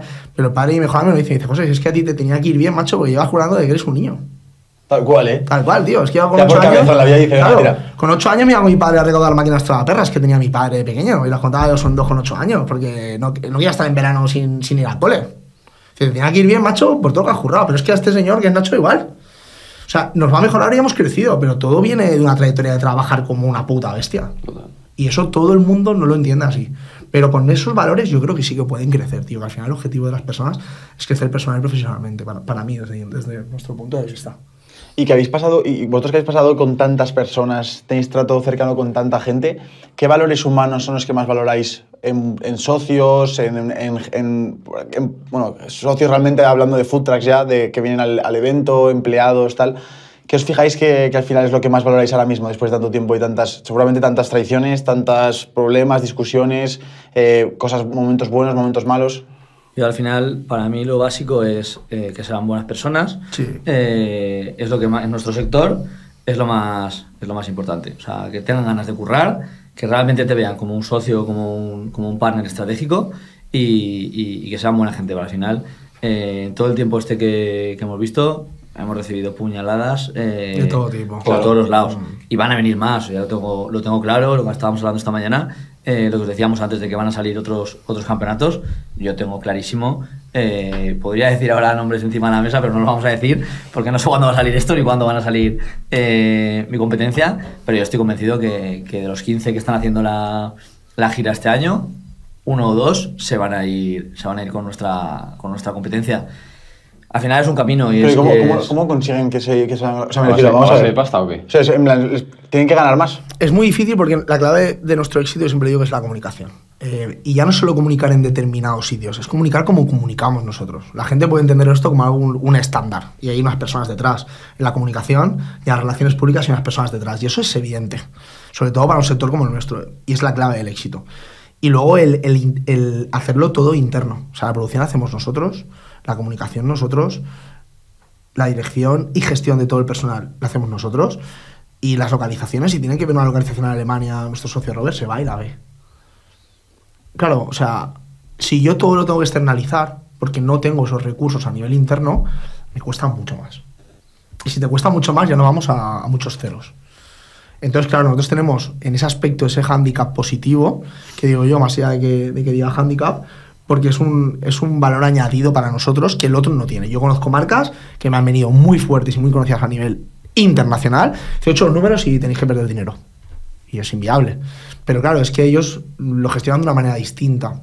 Entonces, yo creo que es un poco lo que le pasa a las marcas de, ostras, que nosotros hemos hecho los números y no nos salen. Claro, pero es que todo lo hacemos nosotros.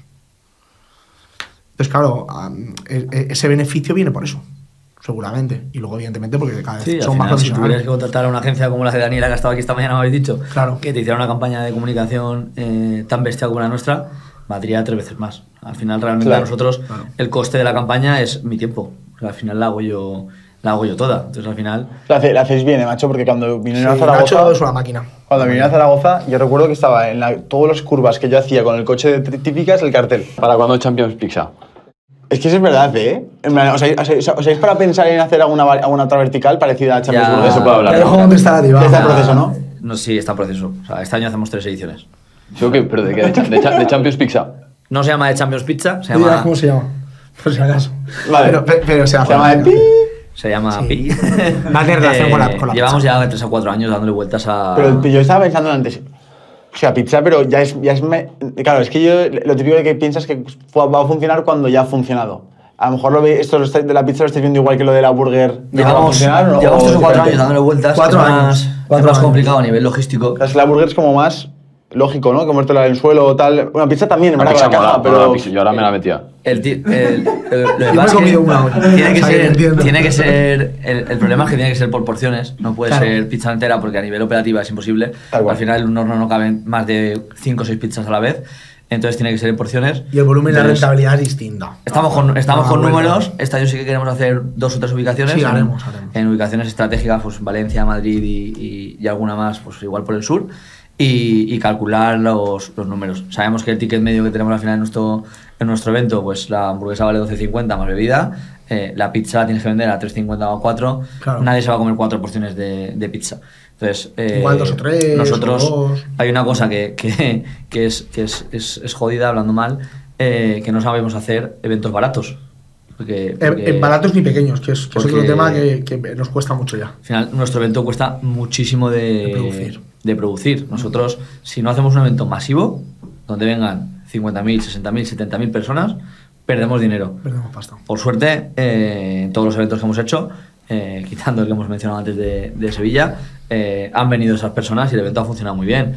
Pero nuestros márgenes son muy pequeñitos ganamos dinero el último día o los dos últimos días Sí. y, y nos da miedo que con la pizza eh, pase eso, que no, o sea, es imposible que el, que el formato pizza llegue a las cifras de, de la Champions, Muy porque difícil. al final la Champions la llevamos bastantes ediciones, pero estamos escalando un modelo de negocio para, para facturar la mitad con la, con la misma gente de- del evento. Vosotros que sabéis tanto del tema de eventos, por ejemplo, ¿dónde gana pasta Ibai con la velada?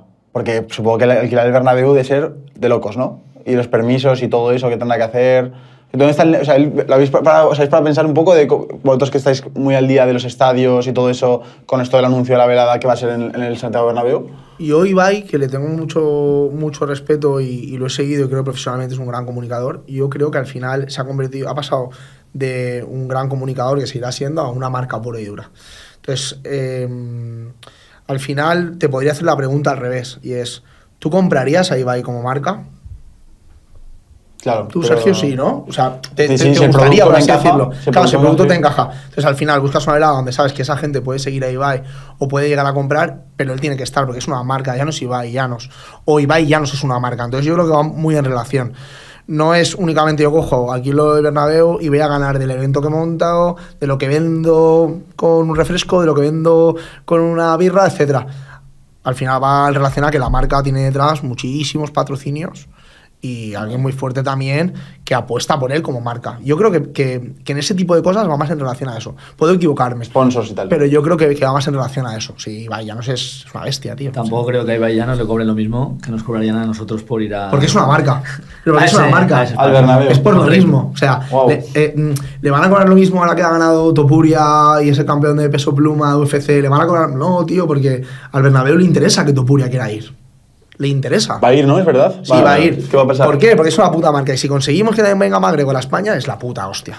Ah, es verdad, el, el tema este. Claro, entonces es. eh, yo creo que va más en relación a la marca. Topuria está convirtiendo en una marca. Es una marca que va a cualquier tipo de. ¿Le habéis contado la idea a Floren? A ver si le apetecía o no. Pues mira, no, no, no te creas que es una cosa que, que, que- que tenemos muy alejada porque sí que nos gustaría. Es que no están tan lejos, ¿eh? No. Es que habéis hecho a el año pasado tres estadios, ¿no? No, este, el año pasado uno. Este año es tres. Primicia. Este año, primicia, hacemos tres estadios, que es Mestalla, Sánchez Pizjuán y Anoeta. Joder. Tío, pero que eso es una puta locura, ¿eh? Seguidos, además. Sí, totalmente sí. Sí, con tres meses de vida. Cuando me queden tres meses de vida, 90 y luego Sánchez locura. El, el otro día justo estábamos en Córdoba y me fui yo a Sevilla con el director de producción a, a A verlo. El estadio de Sevilla probablemente sea el evento más difícil de nuestra historia de, Es un de- estadio antiguo. de montar. Y para que os hagáis una idea, estamos valorando pasar los 25 food trucks que van a- al evento por arriba por arriba. del Por estadio. Carlos. Porque la, la, Porque por la puerta no cabe, La puerta mide, muchas cosas mide para 2,28 y de, y de alto 3,38 y el autobús mide 4,50. Entonces, matemática, claro, no cabe, o sea. matemática básica de. O lo hacemos de valorando- ¿sabes? O sea, no, tenemos dos opciones. O, o hacemos un evento con un formato mucho más pequeñito, donde los food trucks sean más pequeñitos, o si queremos hacer la misma, la misma experiencia de siempre, los food trucks hay que pasarlos por, por aéreo. Total. Estamos haciendo numeritos y, y más que números, que al final los números es dinero, se paga y, y- y punto, ver si realmente es viable o no. Hay, eh, hay una parte del evento de la gente que le hace ilusión ir al estadio, ¿no? Sí, muchísima gente. Hay muchísima gente que, aparte, creo que son tres estadios icónicos. O sea, Mestalla, Sánchez Pizjuán y Anoeta son tres estadios icónicos. Y la gente flipa el poder comerse una burger en el estadio.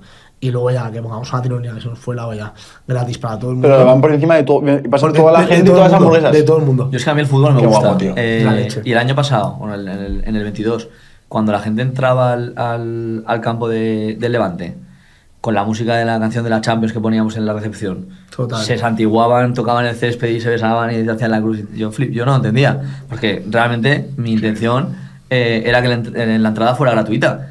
Y, y de hecho, José al final ha sido árbitro de fútbol y demás, decía hay que cobrar porque la gente se te va a colar Claro. simplemente por ver el, el, Por ver el el estadio. estadio por dentro. Yo no lo entendía, pero luego después de haber hecho el evento y toda la cantidad de gente que vino al, al, al evento, eh, soy consciente que, que hay que hacerlo y que hay muchísima gente que, que viene por ver el estadio eh, y, el tocar césped, el, tío, y tocar el el césped. césped. O sea, es que no hay ningún otro evento en España, no sé si en Europa hay alguno, eh, que se haga físico, gastronómico en, en el no césped hay o en el ninguno. estadio. Sí que montan festivales de Conciertos, ¿no? música, Sí, música, conciertos. montan conciertos, Ponen pero, lonas, o pero es otra cosa porque al final tienen que poner, tienen que tapar todo el césped. Ah, pero vosotros no tapáis el césped. El No, no, el césped es aire libre. ¿Y no se jode nada o qué? Sí, se revienta. Pero no, eso, eso se comunica porque Se normalmente suelen cambiarlo cada año. De hecho, el otro día en Sevilla tuvimos una reunión tensa eh, porque la idea del jardinero era renovarlo. O sea, era que una vez hubiera acabado el evento, eh, pues lo, lo riego un poquito, hago no sé qué, yo no soy jardinero, no sé cómo lo hace, eh, renovarlo. Y le dije, mira, eso es imposible. No, que sí, que...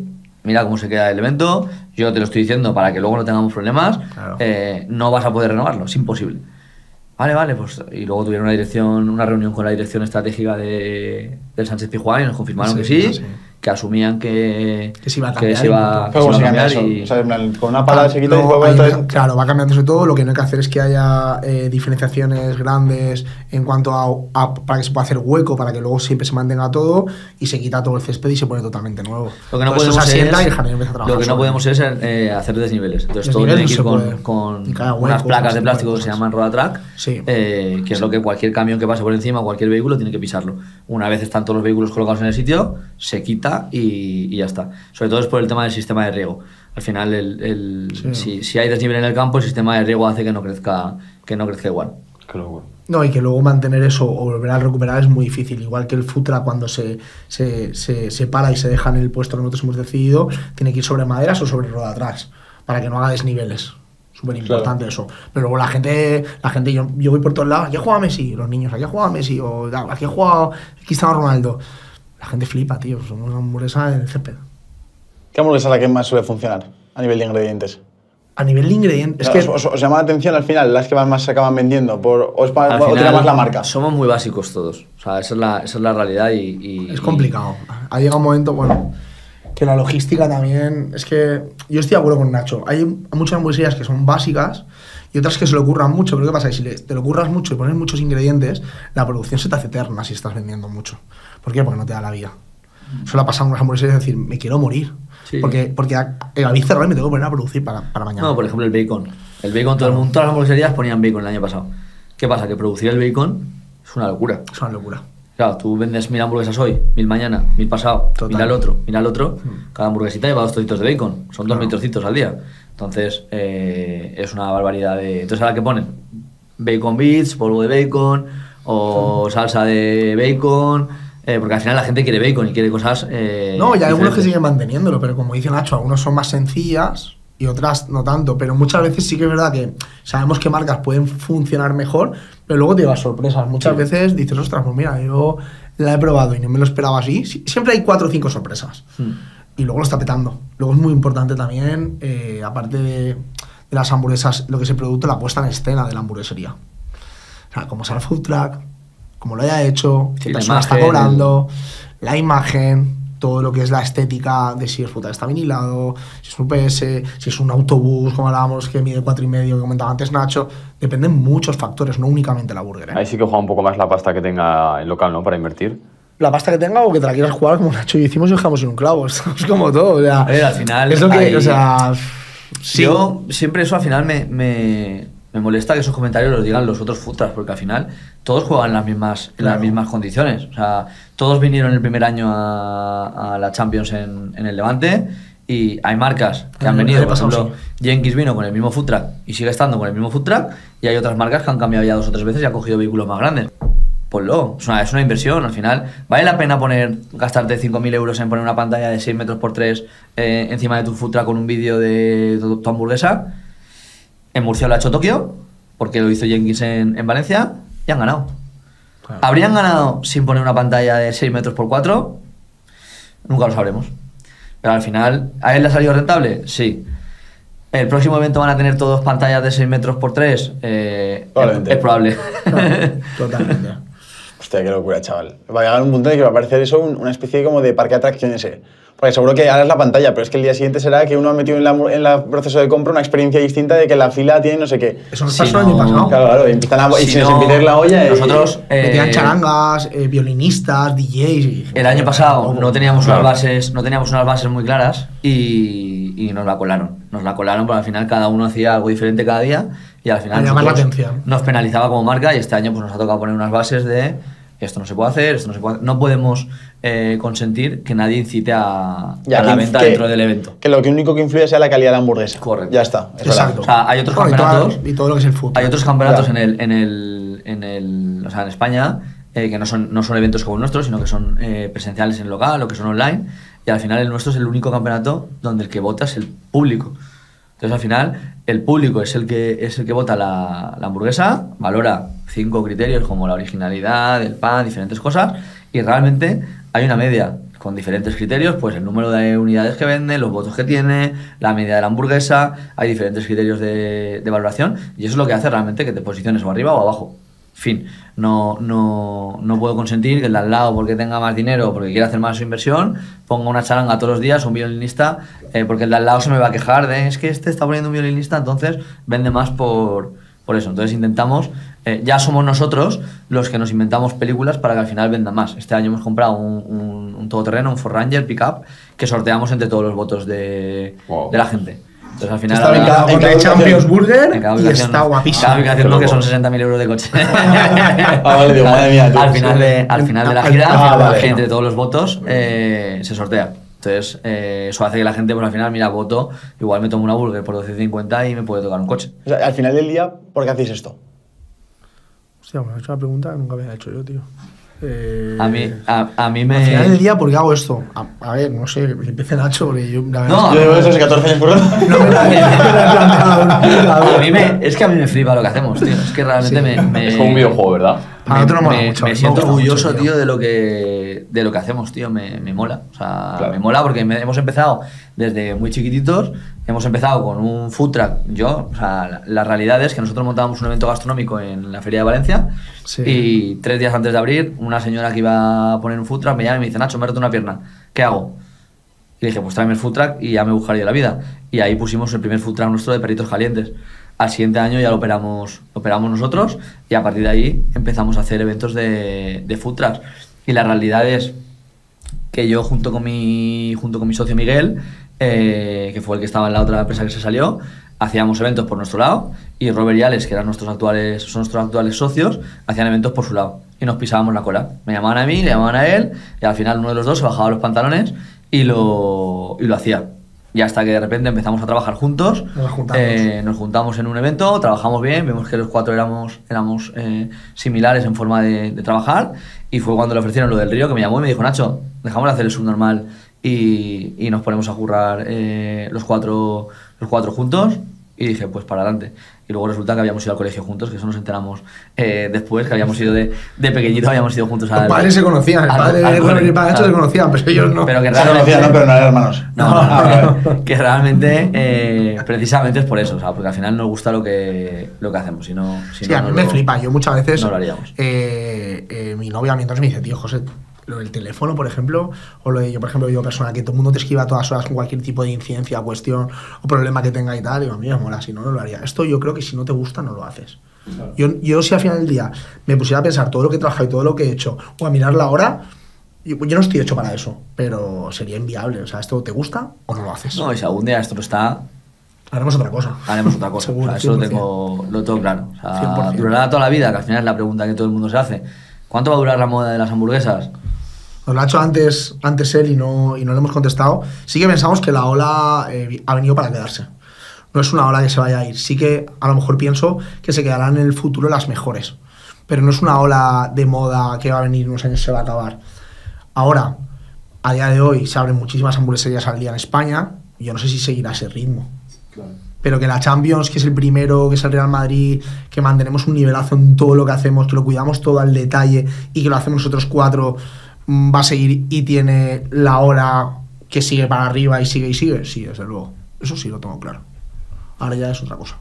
Bueno, oye, pues muchísimas gracias por venir aquí, de verdad. Eh, sabemos que es más que vender hamburguesas lo que estáis haciendo, estáis revolucionando el mercado y a nosotros nos fascina. Espero ir pronto, ¿verdad? Otra vez a... a Toca, darle toca repetir, eso Toca. es. Toca muchas gracias por venir hasta aquí. Oye, si te ha gustado este episodio, si lo estás escuchando, apuntalo con 5 estrellas en audio y si está en YouTube, ¿qué tienen que hacer? Suscribirse, por favor, ir a la descripción y mirad todas las redes sociales de Champions Burger y también la web para que podáis ver todas las ubicaciones, para que podáis ver todo, para que no, no, no os perdáis el próximo.